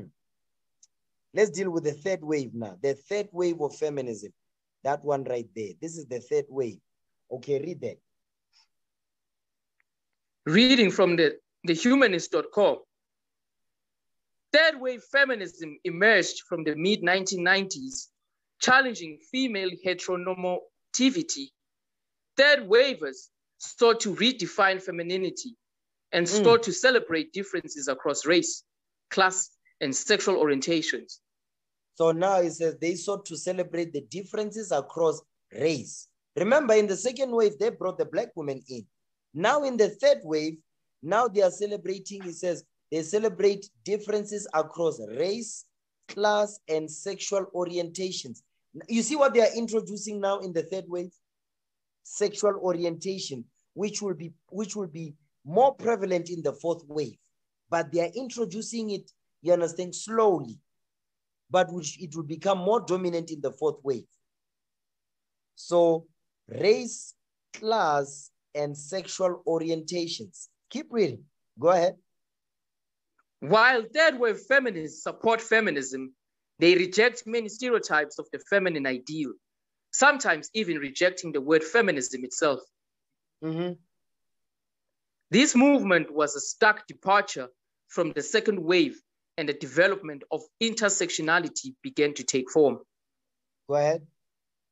The term intersectionality was coined by lawyer and activist Kimberlé Crenshaw to describe how race, class, gender, and other individual characteristics intersect with one another and overlap. They do what? Intersect with one another and overlap. So now the third wave, when you look at this third wave of feminism, right? The third wave of feminism, there's a there's a cross-pollination of different races, meaning what? What has Esau has done in the third wave? Hmm. Give me the book. Give me the book of First Maccabees 1. I'm going to show you what Esau has done in the third wave of feminism. Because remember, in the second wave, they brought the black women in. Now, the third wave, they are bringing everybody, all the minority races and so forth, they are bringing them in into this thing. So they started with them, they lead by, the quote unquote lead by example. Then they bring the black women in. Then they bring other people in. They start to extend their hand to people, places like Pakistan, Afghanistan, Iran, China, India, you understand? Japan, also all over the place, the continent of Africa and so forth. Mm-hmm. First Maccabees 1. Read verse 41. First Maccabees chapter 1, verse 41. Mm-hmm. Moreover, King Antiochus wrote to his whole kingdom that all should be one people. And everyone should leave his laws. So all the heathen agreed according to the commandment of the king. You see that? More is Antiochus is a listen, we're going to introduce democracy. All nations under one they are all going to follow Greek culture and Greek religions. Meaning what? You are going to be assimilated into Greek culture. It was during the time of the Hellenistic period. That's what they call it in the history. You understand? Greek culture and ideas. Read on.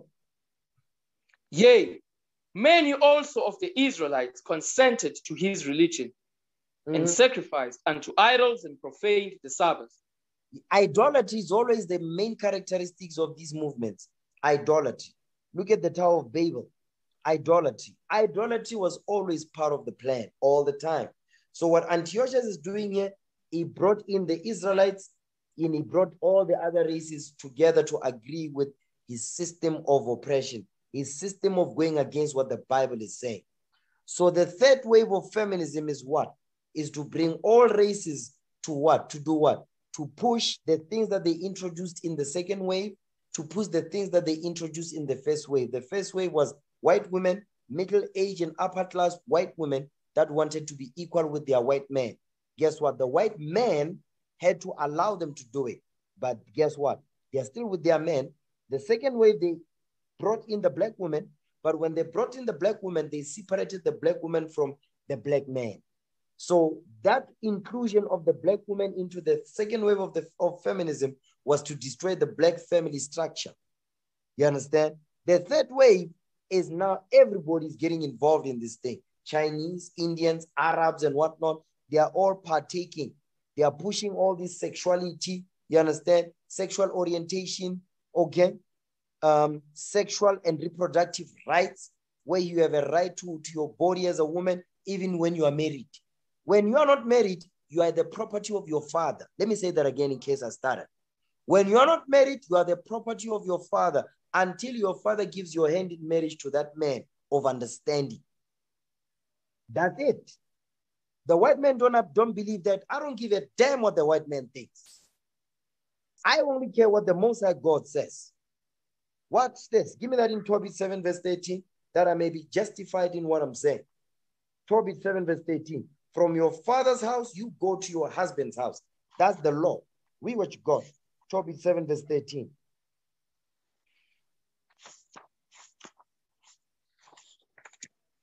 Tobit chapter 7, verse 13.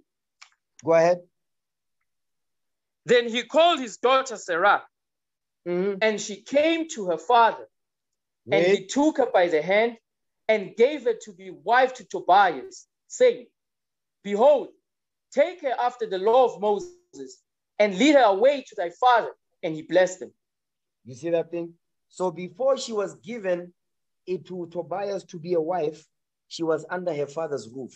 The, the parents were preparing her for marriage.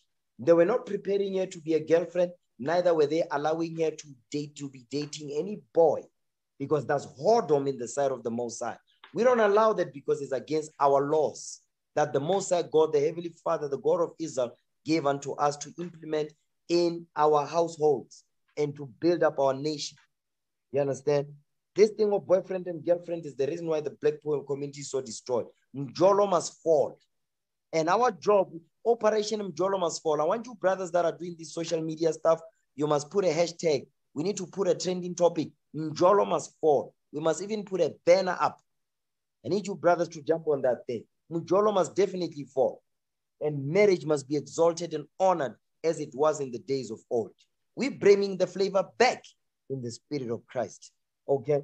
Now, the third wave of feminism is what? Is what we read in First Maccabees 1. Now let's read the fourth wave of feminism.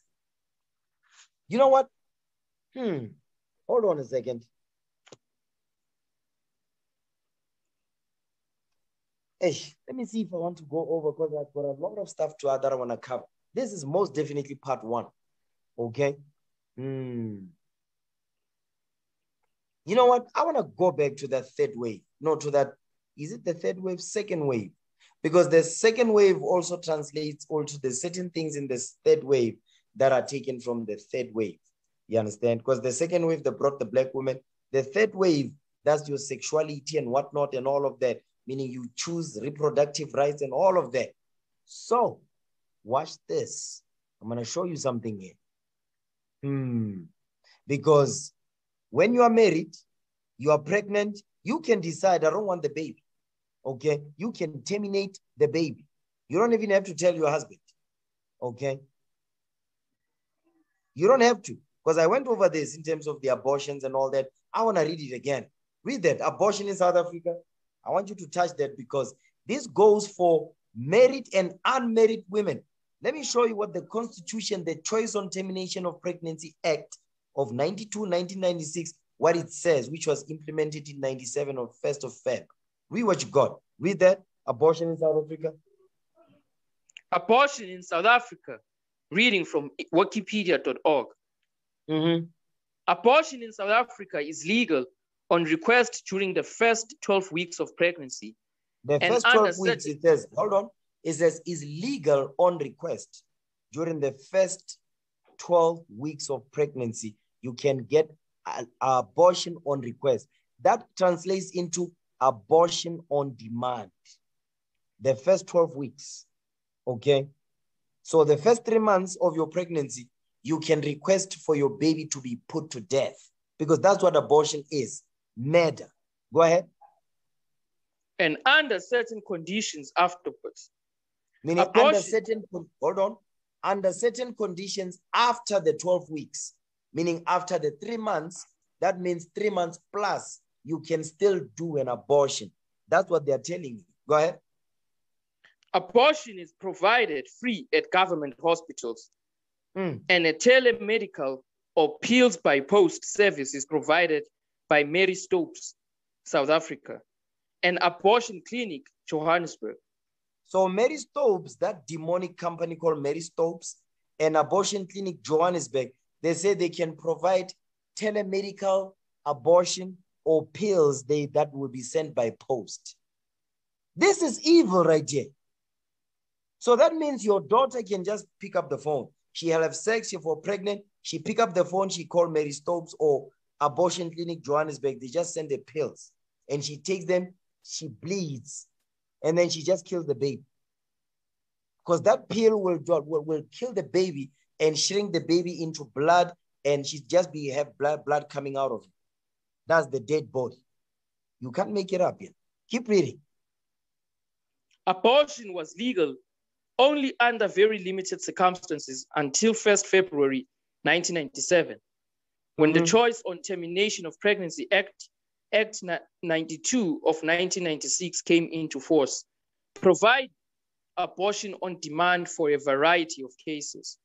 So now, abortion on demand, the choice of terminate on termination of pregnancy, it became that ab- it- that's abortion on demand.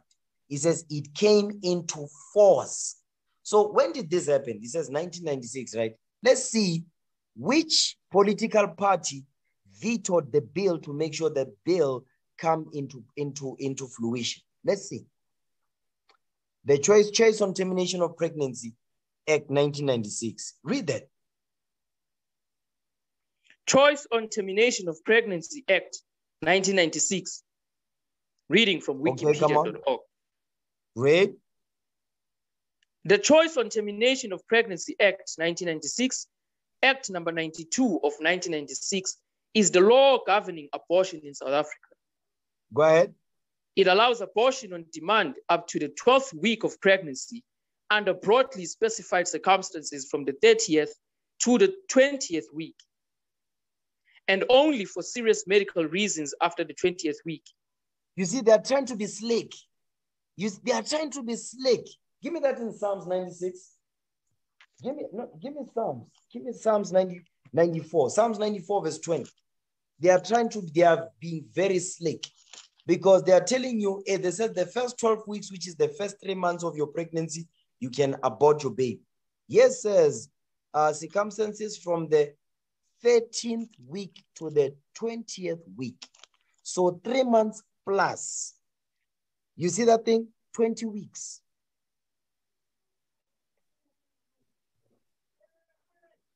Twenty weeks.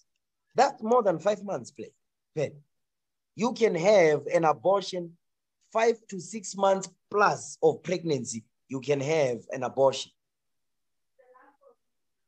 Watch this. And the reason why they want to throw you off and says, and only for serious medical reasons after the 20th week.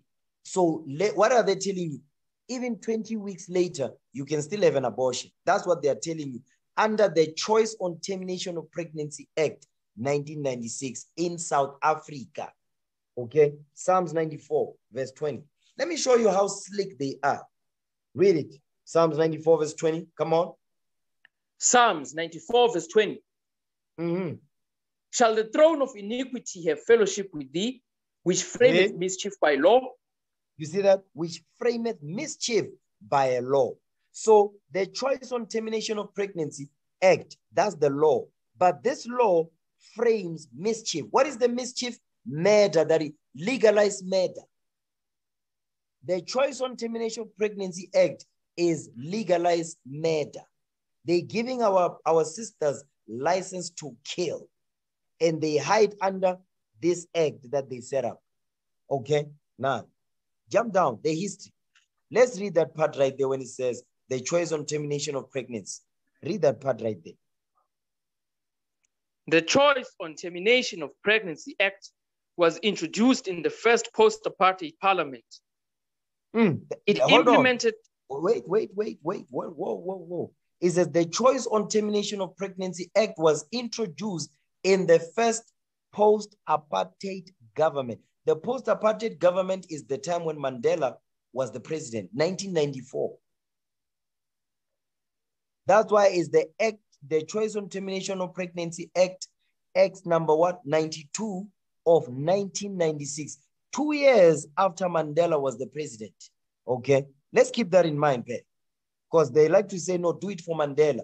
No, during his during his during his office as the president, this is what took place. Read.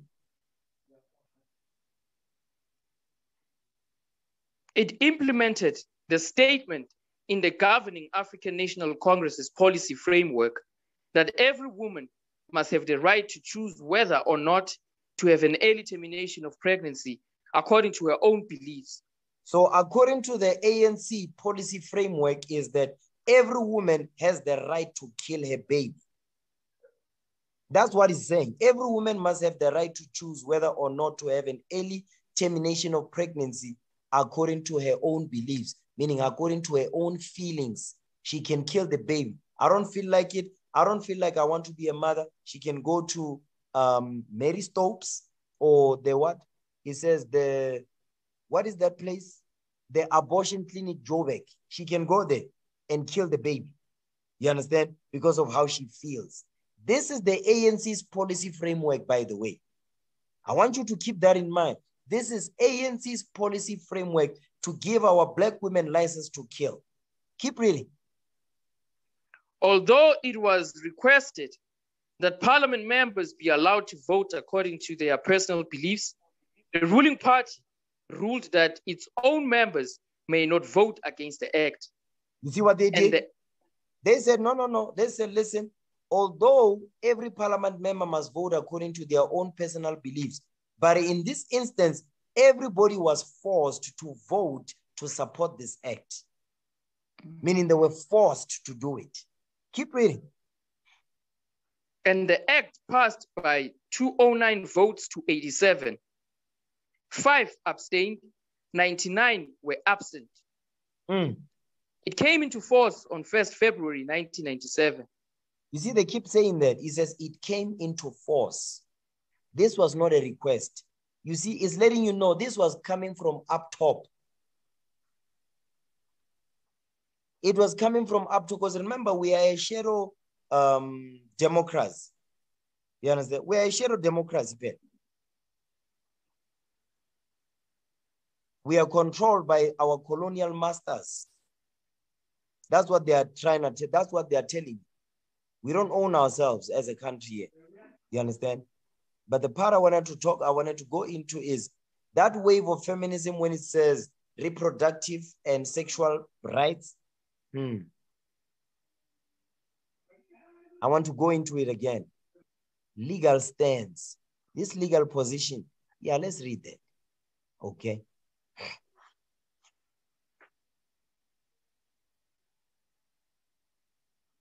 Legal position.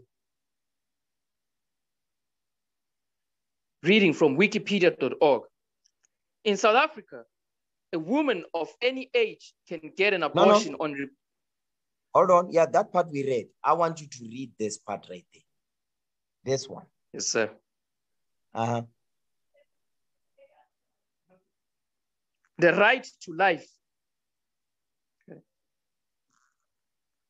No, this part. A woman under the age of 18. Read that part a woman under the age of 18 will be advised to consult her parents, mm-hmm. but she can decide not to inform or consult them if she so chooses. So she's under 18. Remember, the, the age of consent in South Africa in terms of women having sex is 16 years old. That's some evil stuff. You understand? It says a woman under the age of 18 will be advised.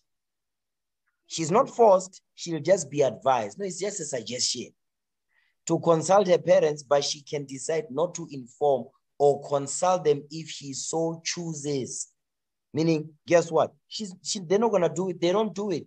They don't even ask, did you talk to your parents? They don't ask when they have to rip these babies out of our sister's stomachs. Read on. A woman who is married or in a life partner relationship will be advised to consult her partner but she can decide not to inform or consult him or her. You see that? That's some evil stuff. Is as a woman who is married in a life partner relationship that's just bumping and grinding will be advised to consult her partner, but she can decide not to inform or consult with him. Because lesbians don't get pregnant until there's a man involved. So we're just going to read that part, the hymn. It says, listen, there's no, you don't have to inform your husband that you're deciding to kill the baby while you're pregnant with his baby. The, the government is telling you that you can, even if you're, even when you are married, you don't have to tell your husband. You can just go and kill the baby and come home with a flat stomach. That's what they're saying. And remember, this is ANC's policy framework that every woman has a right to do whatever the hell she wants with her body as if that body belongs to her. Get that in First Corinthians 6 19.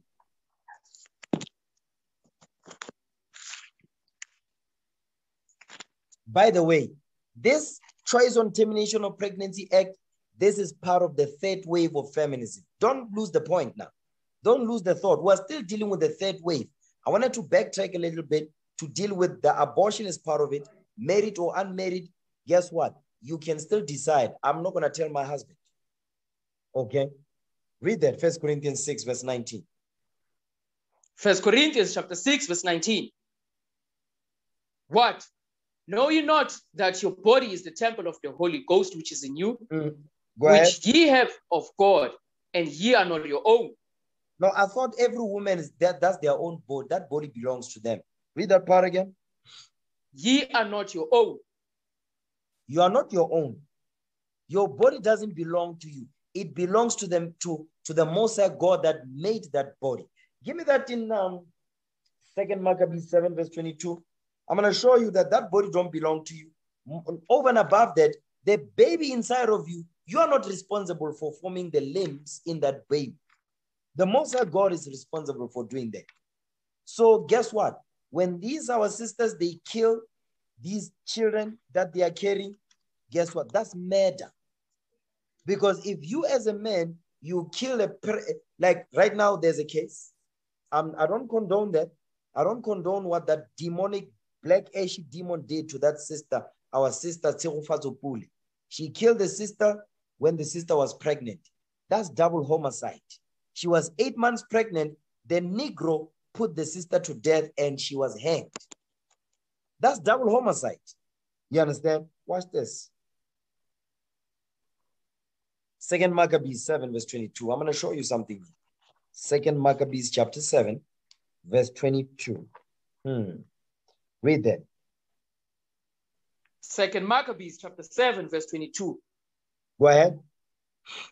I cannot tell how he came into my womb, Mhm. for I neither gave you breath nor life, neither was it I that formed the members of every one of you.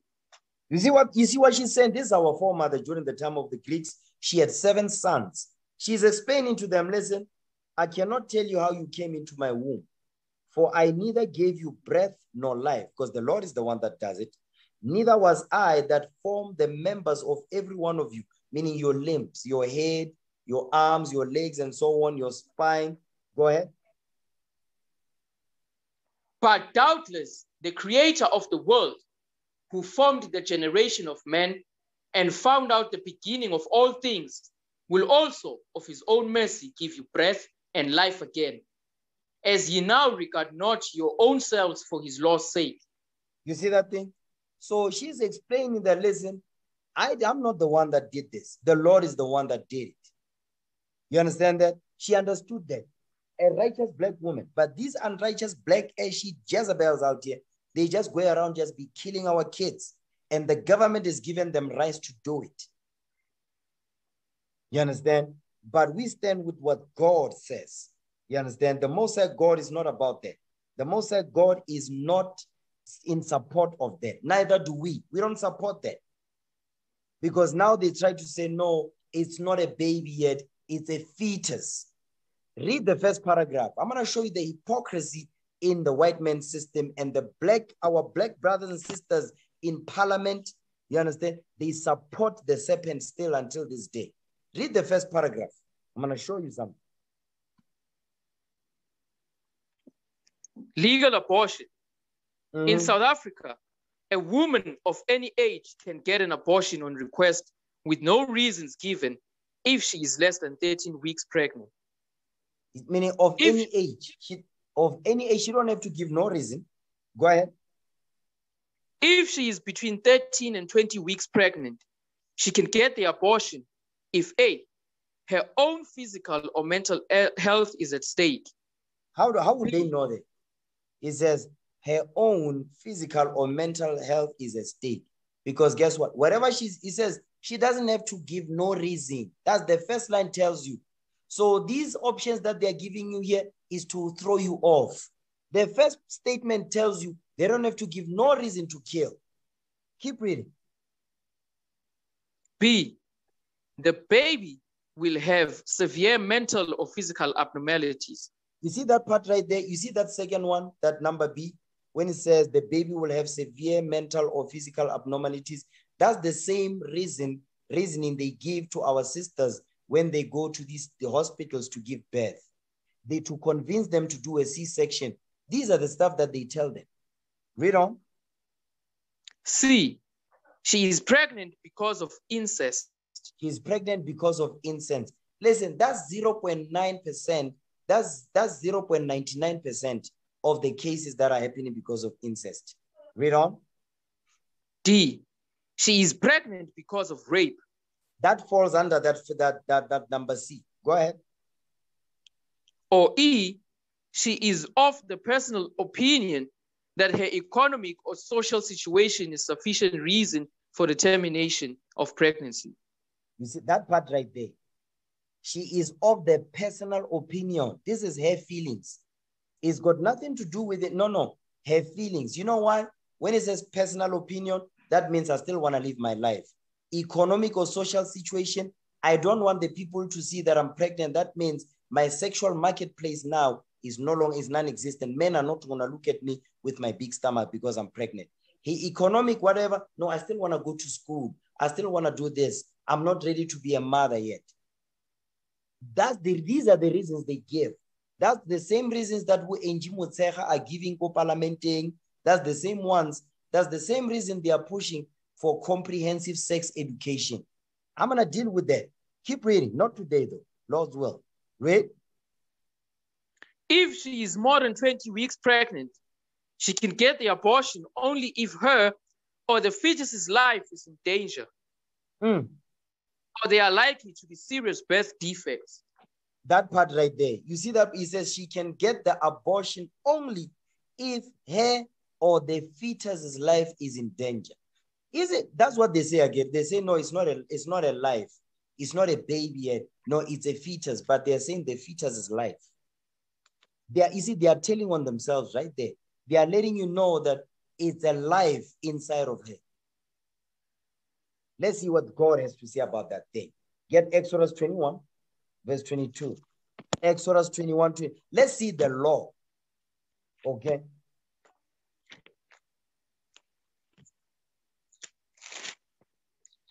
Exodus chapter 21, verse 22. Go ahead. If men strive and hurt a woman with child, so that her Mhm. fruit depart from her, and Meaning yet what? She has a miscarriage. Miscarriage. Men are fighting together. Men are fighting, and the woman gets hurt in the process who's pregnant. It says, and her food, her fruit depart from her, which is what? The baby, meaning she has a miscarriage and so forth. Go ahead. So that her fruit depart from her, and yet no mischief follow. He shall be surely punished according as the woman's husband will lay upon him, and he Meaning shall what? pay Ac- as the judges. Uh, according according to the woman's husband, because the woman, the husband now her pregnant wife who was pregnant, that's what it says, a fruit depart, the fruit depart from her, and yet no mischief follow, meaning she's still alive. He shall be surely punished according as the woman's husband will lay upon him, meaning the father will decide what must happen to this guy. He's the one that will decide. But the judges obviously will make the final decision based on the case. Read on. And he shall pay as the judges determine. Mhm. Read. And if any mischief follow, then thou shalt give life for life. Read again, verse 23. Exodus chapter 21, verse 23. And if any mischief follow, then thou shalt give life for life. You see that thing? If any mischief follow, it says, Thou shalt give life for life. So that fetus, that's a life in there. That is a life right there. You says, You shall give life for life. Because that's a life. You understand? So, you sisters that are married, you don't want to fall pregnant, these are the options that the white man has given unto you because that's part of the feminist movement. And if the husband is to take you to court, there's nothing they're gonna do. They're gonna they're gonna defend it because they're gonna say, but according to the Choice on Termination of Pregnancy Act, she has a right whether she doesn't want to have a baby or not. You see that thing? Hmm. Keep that in mind. Understand that. Okay, let's read the fourth wave now, feminism. Let's read that.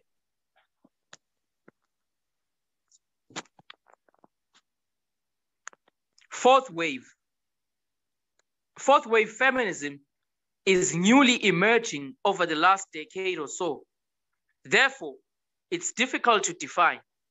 No, it's not difficult That's- to define. I'm going to show you that. They're going to explain to you. He says it's difficult to define because they are trying to throw you off. Keep reading.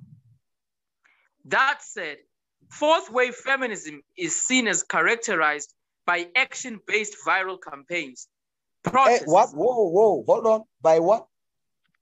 by action based viral campaigns. Is that the fourth wave of feminism is characterized by action-based viral campaigns, meaning things that you're gonna see, meaning major protests that you're gonna see on the streets every year. You understand? Keep reading. Protests and movements like hashtag Me Too advancing from the fringes of society into the headlines of our everyday news. You see that the Me Too movement, you know, men and women saying they are coming out. I think that's how they say it. I'm coming out. Keep reading. Go ahead. The fourth wave has also been characterized as queer, Here we go. Sex- Hold on. You see that? Here we that's it right there. It says the fourth wave has also been characterized as queer. That's the Q in the LGBTQ. Keep reading. sex positive, Mm. trans inclusive, body positive, and digitally driven. Mm. It seeks to further deconstruct gender norms. That's it, that part right there. So the fourth wave of feminism is, is objective is to deconstruct gender norms. What is gender norms? It goes into what? Gender fluid. I'm gender fluid. You see that thing? The fourth wave is to deconstruct gender norms, meaning what? They let me let me show you the article actually. Let's let's go into the article. They want to deconstruct gender norms, right? Let's see what that means. Deconstruct gender norms. Watch this. This is the article. Um, read that, read that part right there. Adolescent sexual and reproductive health rights. Section what? Section 27. This is section 27 of the Constitution of South Africa. Now watch this. Read that part right there. What are sexual and reproductive health rights? SRHR. So sexual and reproductive health rights. We touched on that. Read on. Which rights are fundamental to the realization of SRHR? Go ahead. What are the components of SRHR? Read. Key sexual and reproductive health rights issues for young people. That part right there. Read that part again. Key sexual and reproductive health rights issues for young people. young people, this goes into comprehensive sex education. Key sexual and reproductive health rights issues for young people. What do have what do young people have to do with um, sexual and reproductive health rights? They're supposed to be what? If it's boys, they're supposed to be learning how to use a spade, how to do the garden, how to look after the sheep, how to do um, you know, laborers work. They see the young girls, their job is to do what? Learn how to clean, how to cook, how to sew, how to wash, all of that. They must learn those things. Those are important skills to learn. Not be concerned with um, with TikTok where black women are twerking their behinds, wearing tight pants and skinny jeans and and skimpy skirts and bum shorts, showing off their cleavage, disrespecting their fathers and their brothers and their husbands. That's what they are pushing. You understand? Now read that. Sex and what? Sex, gender, and sexual orientation. Now let's go up.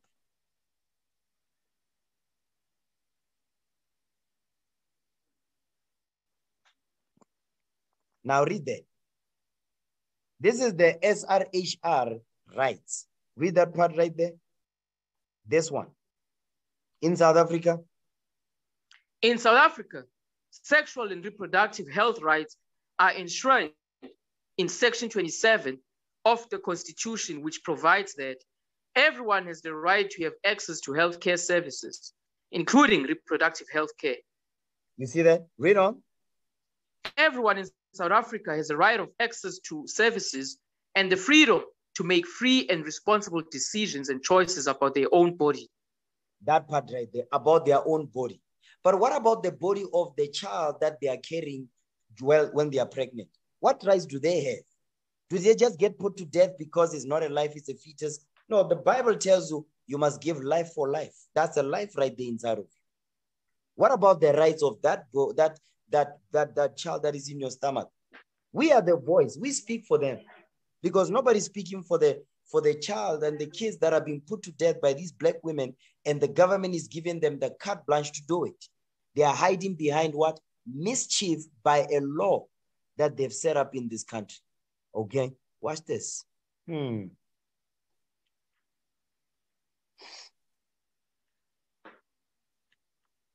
Look at look, just look at the, the, the depiction.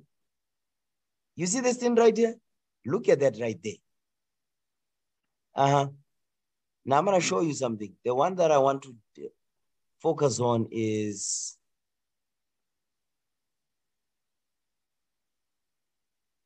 Yes, this part right here. I want you to read this. Gender, let me just uh, enlarge it a little bit. Oh, there we go. Oh, praises. Now read that. Sex, gender, and sexual orientation. Read that. Sex, gender, and sexual orientation. Often. Okay, come on. Often the three concepts of sex, gender, and sexuality are confused and are seen to be overlapping. It is easy to see why this is so. We hope that by reading this section, you will be able to distinguish between the differences of these three terms. Mm-hmm. Go ahead. When people refer to someone's sex, also called biological or physical sex, they are talking about the biological characteristics that identify you as male, female, or intersex at birth. You see that thing? What, what is the confusion? They are creating confusion. You see, the white man is about confusion. It says sex, gender, and sexual orientation. These are all different things. They are that the, the reason why they are writing this article is to clarify to those that are confused. Sex, gender, sexual orientation is the same thing because your sex determines your gender. We know male or female. There's no any other thing. It's just male or female. If you're a man, you'll deal with a woman. If you're a woman, you'll deal with a man. That's it. All this mumbo jumbo garbage is to confuse our people that hate the laws of God. Read that part again. When people refer to someone's what? When people refer to someone's sex, also called biological or physical sex, they are talking about the biological characteristics that identify you as male, female, or intersex at birth. So they say it's also called a biological or physical sex. So there's that means if there's biological or physical sex, that means there's another one outside of these. That's what they're saying. If they have to emphasize it like this, that they are letting you know there's there's other sex types outside of the biological one, the physical one. There's another one outside of these. Go back to Mark 10, verse 6. It is the Sabbath day. All praises to the Lord this day. Mark 10, verse 6. They are letting you know there's another one outside of this, which there is none. There's none of it. It's only male and female. That's it. Mark 10, verse 6 again. So we see what happened at the beginning.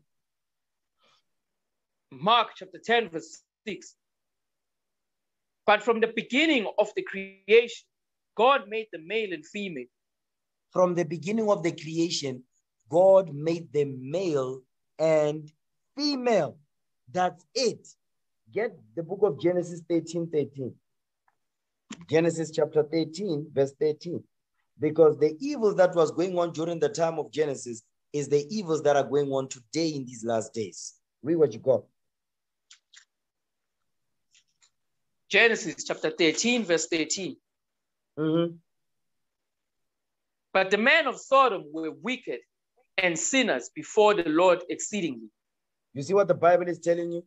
The men of Sodom were wicked and sinners before God, before the Lord exceedingly. Meaning what? They were going outside of the bounds of normalcy to fulfill their sexual lusts. Give me Jude verse 7. Jude verse 7. Okay.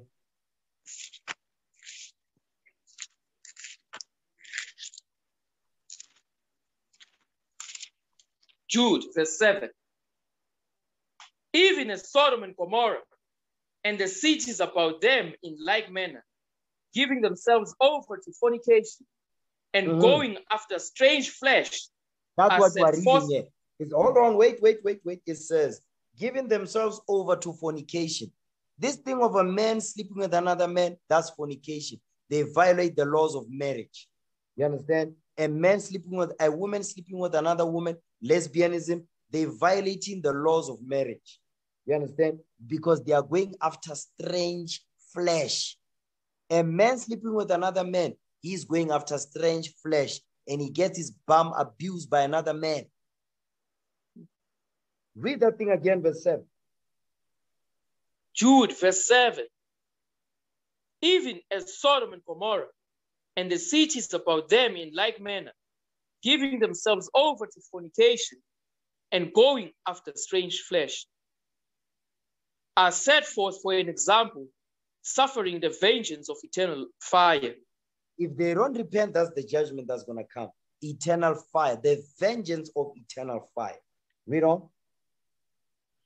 Likewise, also these filthy dreamers defile mm. the flesh, You see that? It says, likewise, these filthy dreamers, because they are going after strange flesh. That's a filthy dream. That's what the Lord is telling you. Because what is based upon lust and fornication and sexual desire desires got nothing to do with marriage, according to God. Men and women, male and female. Read on. despise dominion, They hate the And- order of God. They hate the order that the Lord has set up through his laws. Read on. and speak evil of dignities, They speak evil of dignities. They speak evil of what? The laws of God. They speak evil of that because they want to fulfill their own evil and abominable sexual desires. That's why now they say sex, gender, and sexual orientation, they are all different things. Basically, what are they doing? They are educating the people to accept this garbage. Go back to the article.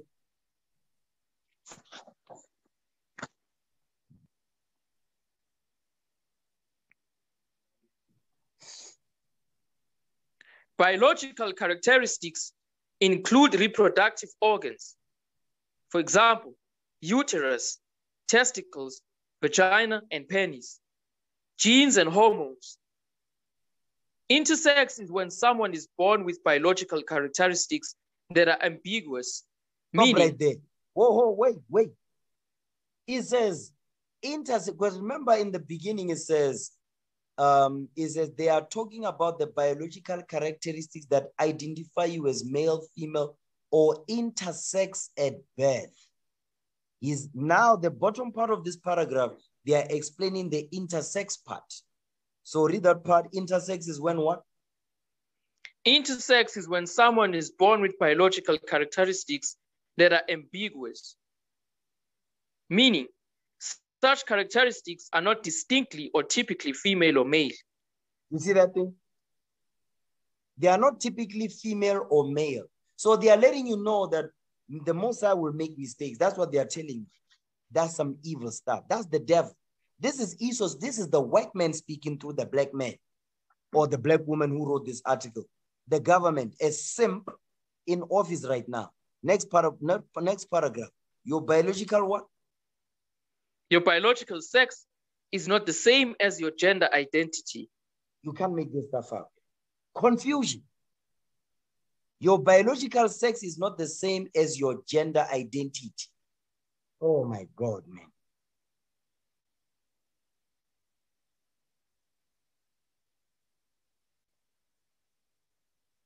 Read that part right there. I want you to read that. Gender non-binary, meaning what? Is not male or female, meaning it's something else. That's why they call it gender fluid. Read that part. Yeah, yeah. Let's read the paragraph. There are more gender identities. There are more gender identities than just as a man or a woman.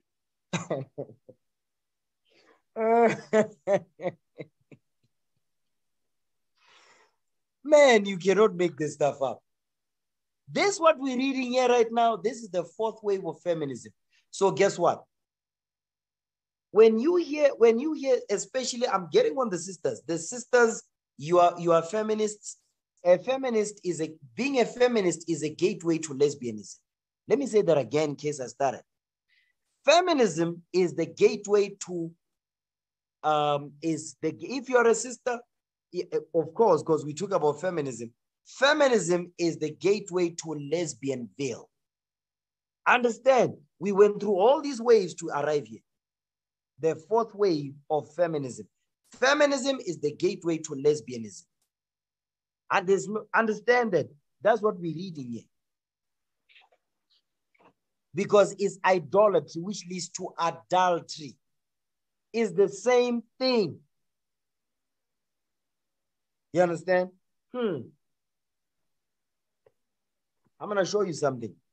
Give me the book of Deuteronomy 31 because what we're reading here says there are more gender identities than just a man or a woman. Really? Is that right? Hmm. Let's hear what God has to say. The maker of heaven and earth. Let's see what he has to say about this, this stuff. Okay. Deuteronomy 31. We can read now. Deuteronomy 31 and verse, read verse 12. Let's see if there's more than just men or women. Deuteronomy chapter 31, verse 12. Gather the people together, men and women and children. Stop and right thy strength. Hold on, no, no. You don't, you, need, you don't need to go no further. It says, gather the people together, men and women and children. That's it.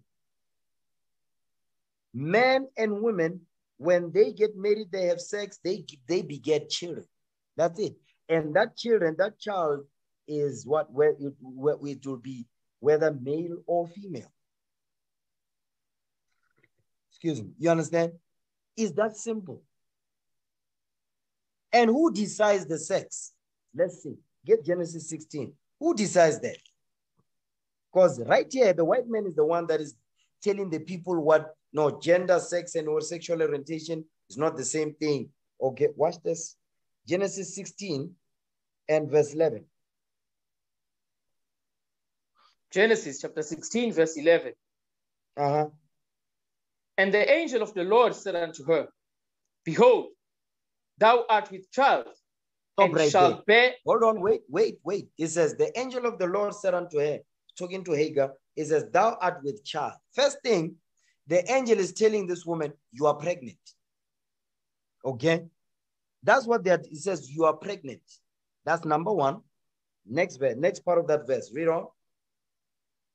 Thou art with child, and shalt bear a son. Stop right there. You are pregnant and you're going to give birth to a son.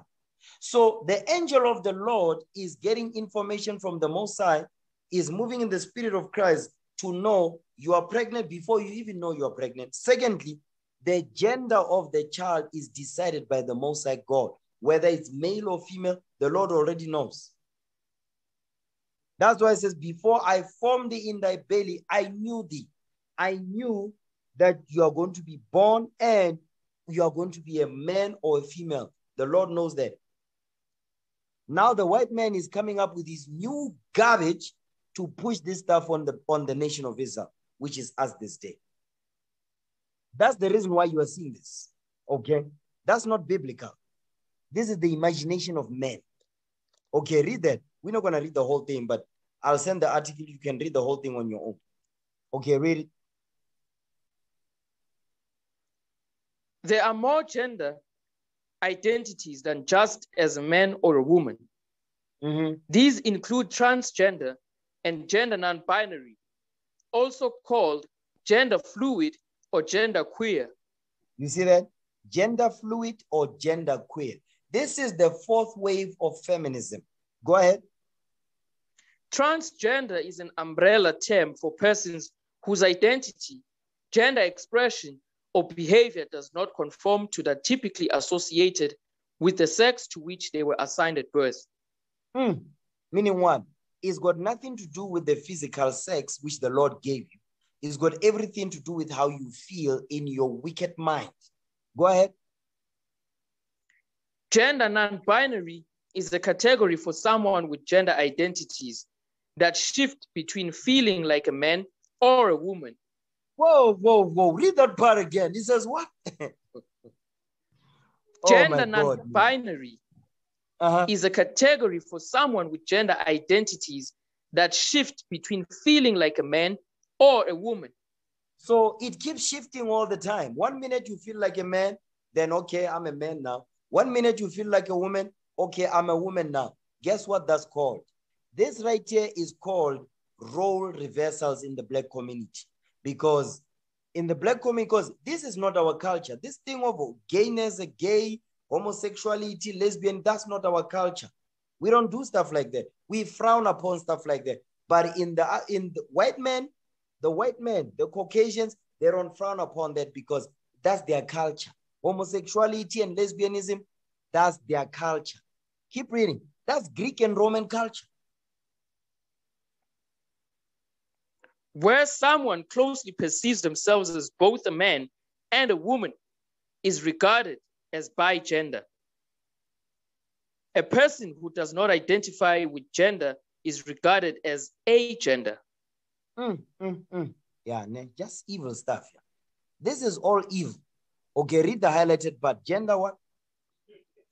Gender expression is about how you appear to others. You see that thing? How you appear to others. So a child, when the child is a boy, they are playing with their mother's shoes, they are wearing their dress, you must smack that child to stop doing that. You understand? Because they're gonna grow up, they will be emboldened in that evil. Next part of that uh, paragraph, uh, sexual orientation is what? Sexual orientation also is not the same as biological sex or gender. Okay, that's it on that. That is it on that. I just wanted to show you because that's what we read in the article in the fourth wave. They were talking about what? Being gender fluid, queer, queer. Yeah, it says I'm queer. Mhm. Gender fluid. Read the fourth wave of feminism again. Reading from the humanist.com, Mhm. fourth wave feminism is newly emerging over the last decade or so. Read. Therefore, it's difficult to define.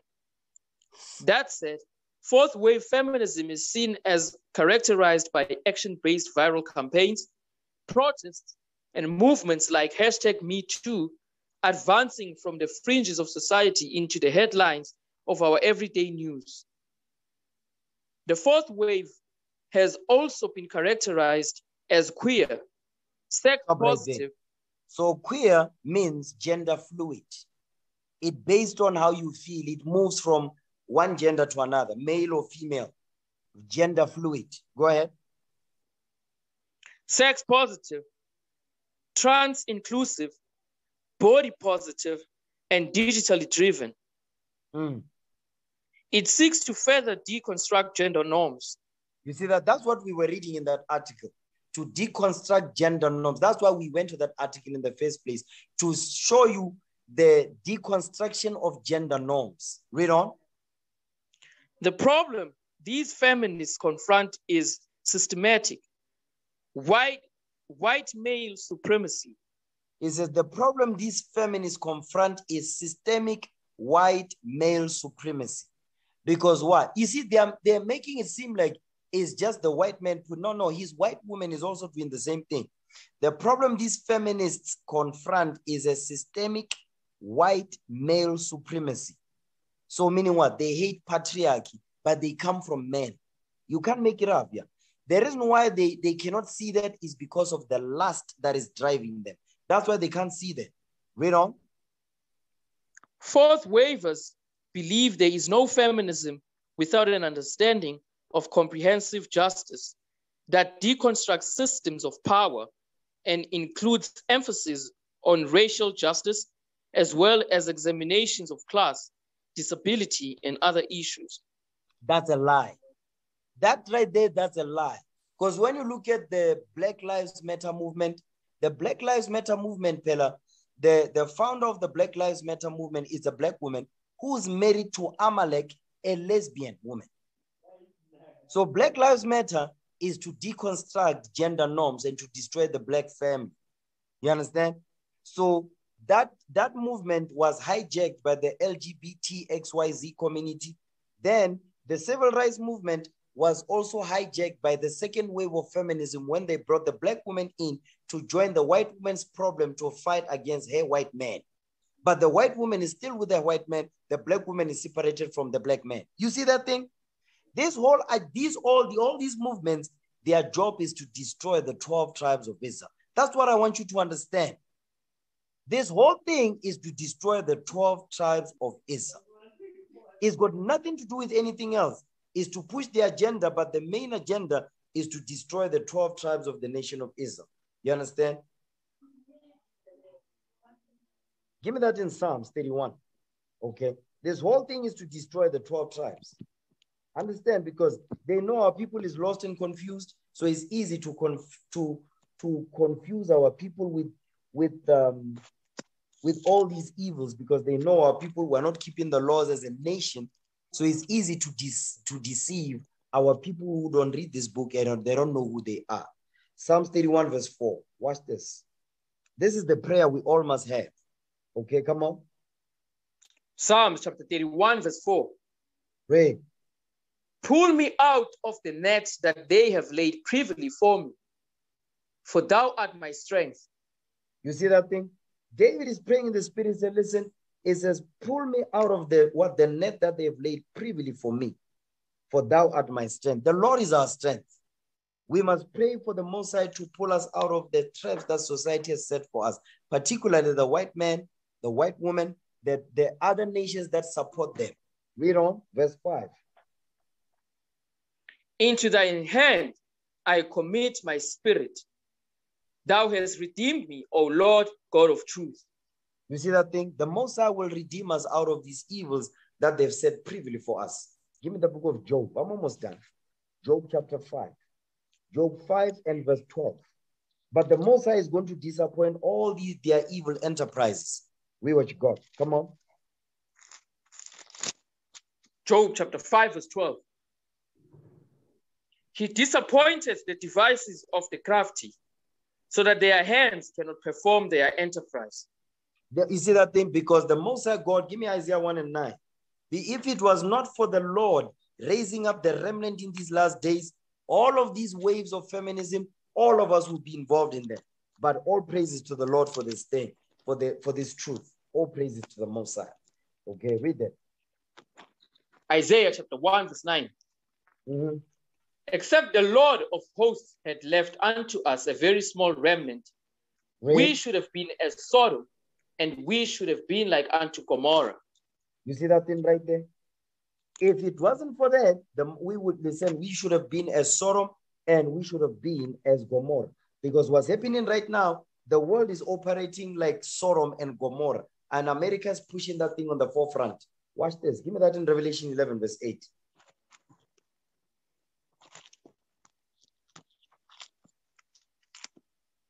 Revelation chapter 11, verse 8. Read. And their dead bodies shall lie in the street of the great city, which spiritually is called Sodom and Egypt, mm-hmm. where also our Lord was crucified. You see that thing? There is a, there, our dead bodies will lie in the street of the great city. The great city is the United States of America, Babylon the Great, which spiritually is not physical Sodom, is a spiritually is called Sodom and Egypt. Sodom because homosexual, homosexuality, homosexual activity is rampant. on this earth because of America's ruling the whole earth. Homosexuality has even penetrated the Arab world. You understand?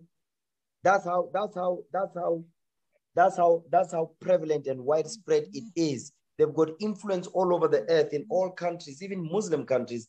They also have, uh, they also have what? They have influence over them as well. That's why it says spiritually is called Sodom and Egypt because we slaves, where also our Lord was crucified. I mean, the doctrine of Christ is not taught. They teach, they, they put white images out there with a white man who gave a white gay man. They say, no, that's Jesus. That's blasphemy. You understand? Jesus is a black man. Okay, watch this. Now give me Psalms, Job chapter 5, verse 1.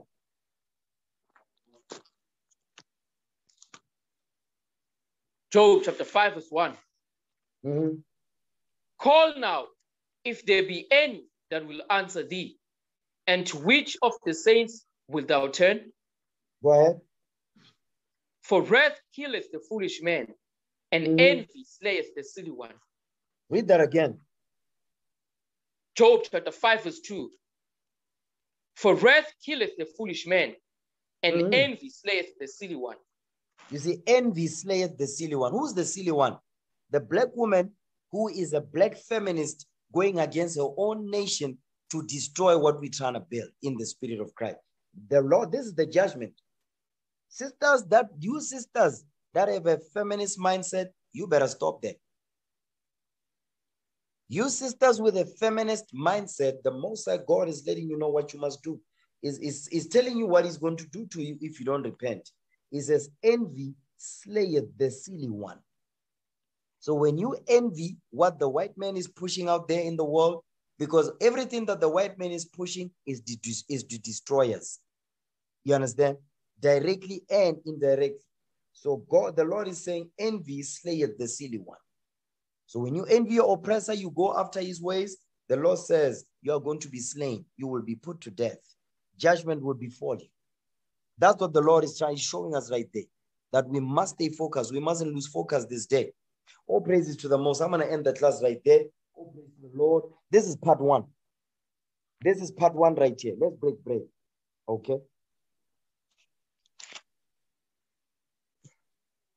For I have received of the Lord that which also I delivered unto you, that the Lord Jesus, the same night in which he was betrayed, took bread. And when he had given thanks, he brake it and said, Take, eat. This is my body, which is broken for you. This do in remembrance of me. After the same manner also he took the cup when he had supped, saying, This cup is the New Testament in my blood.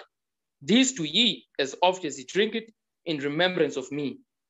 For as often as ye eat this bread and drink this cup, ye do show the Lord's death till he come.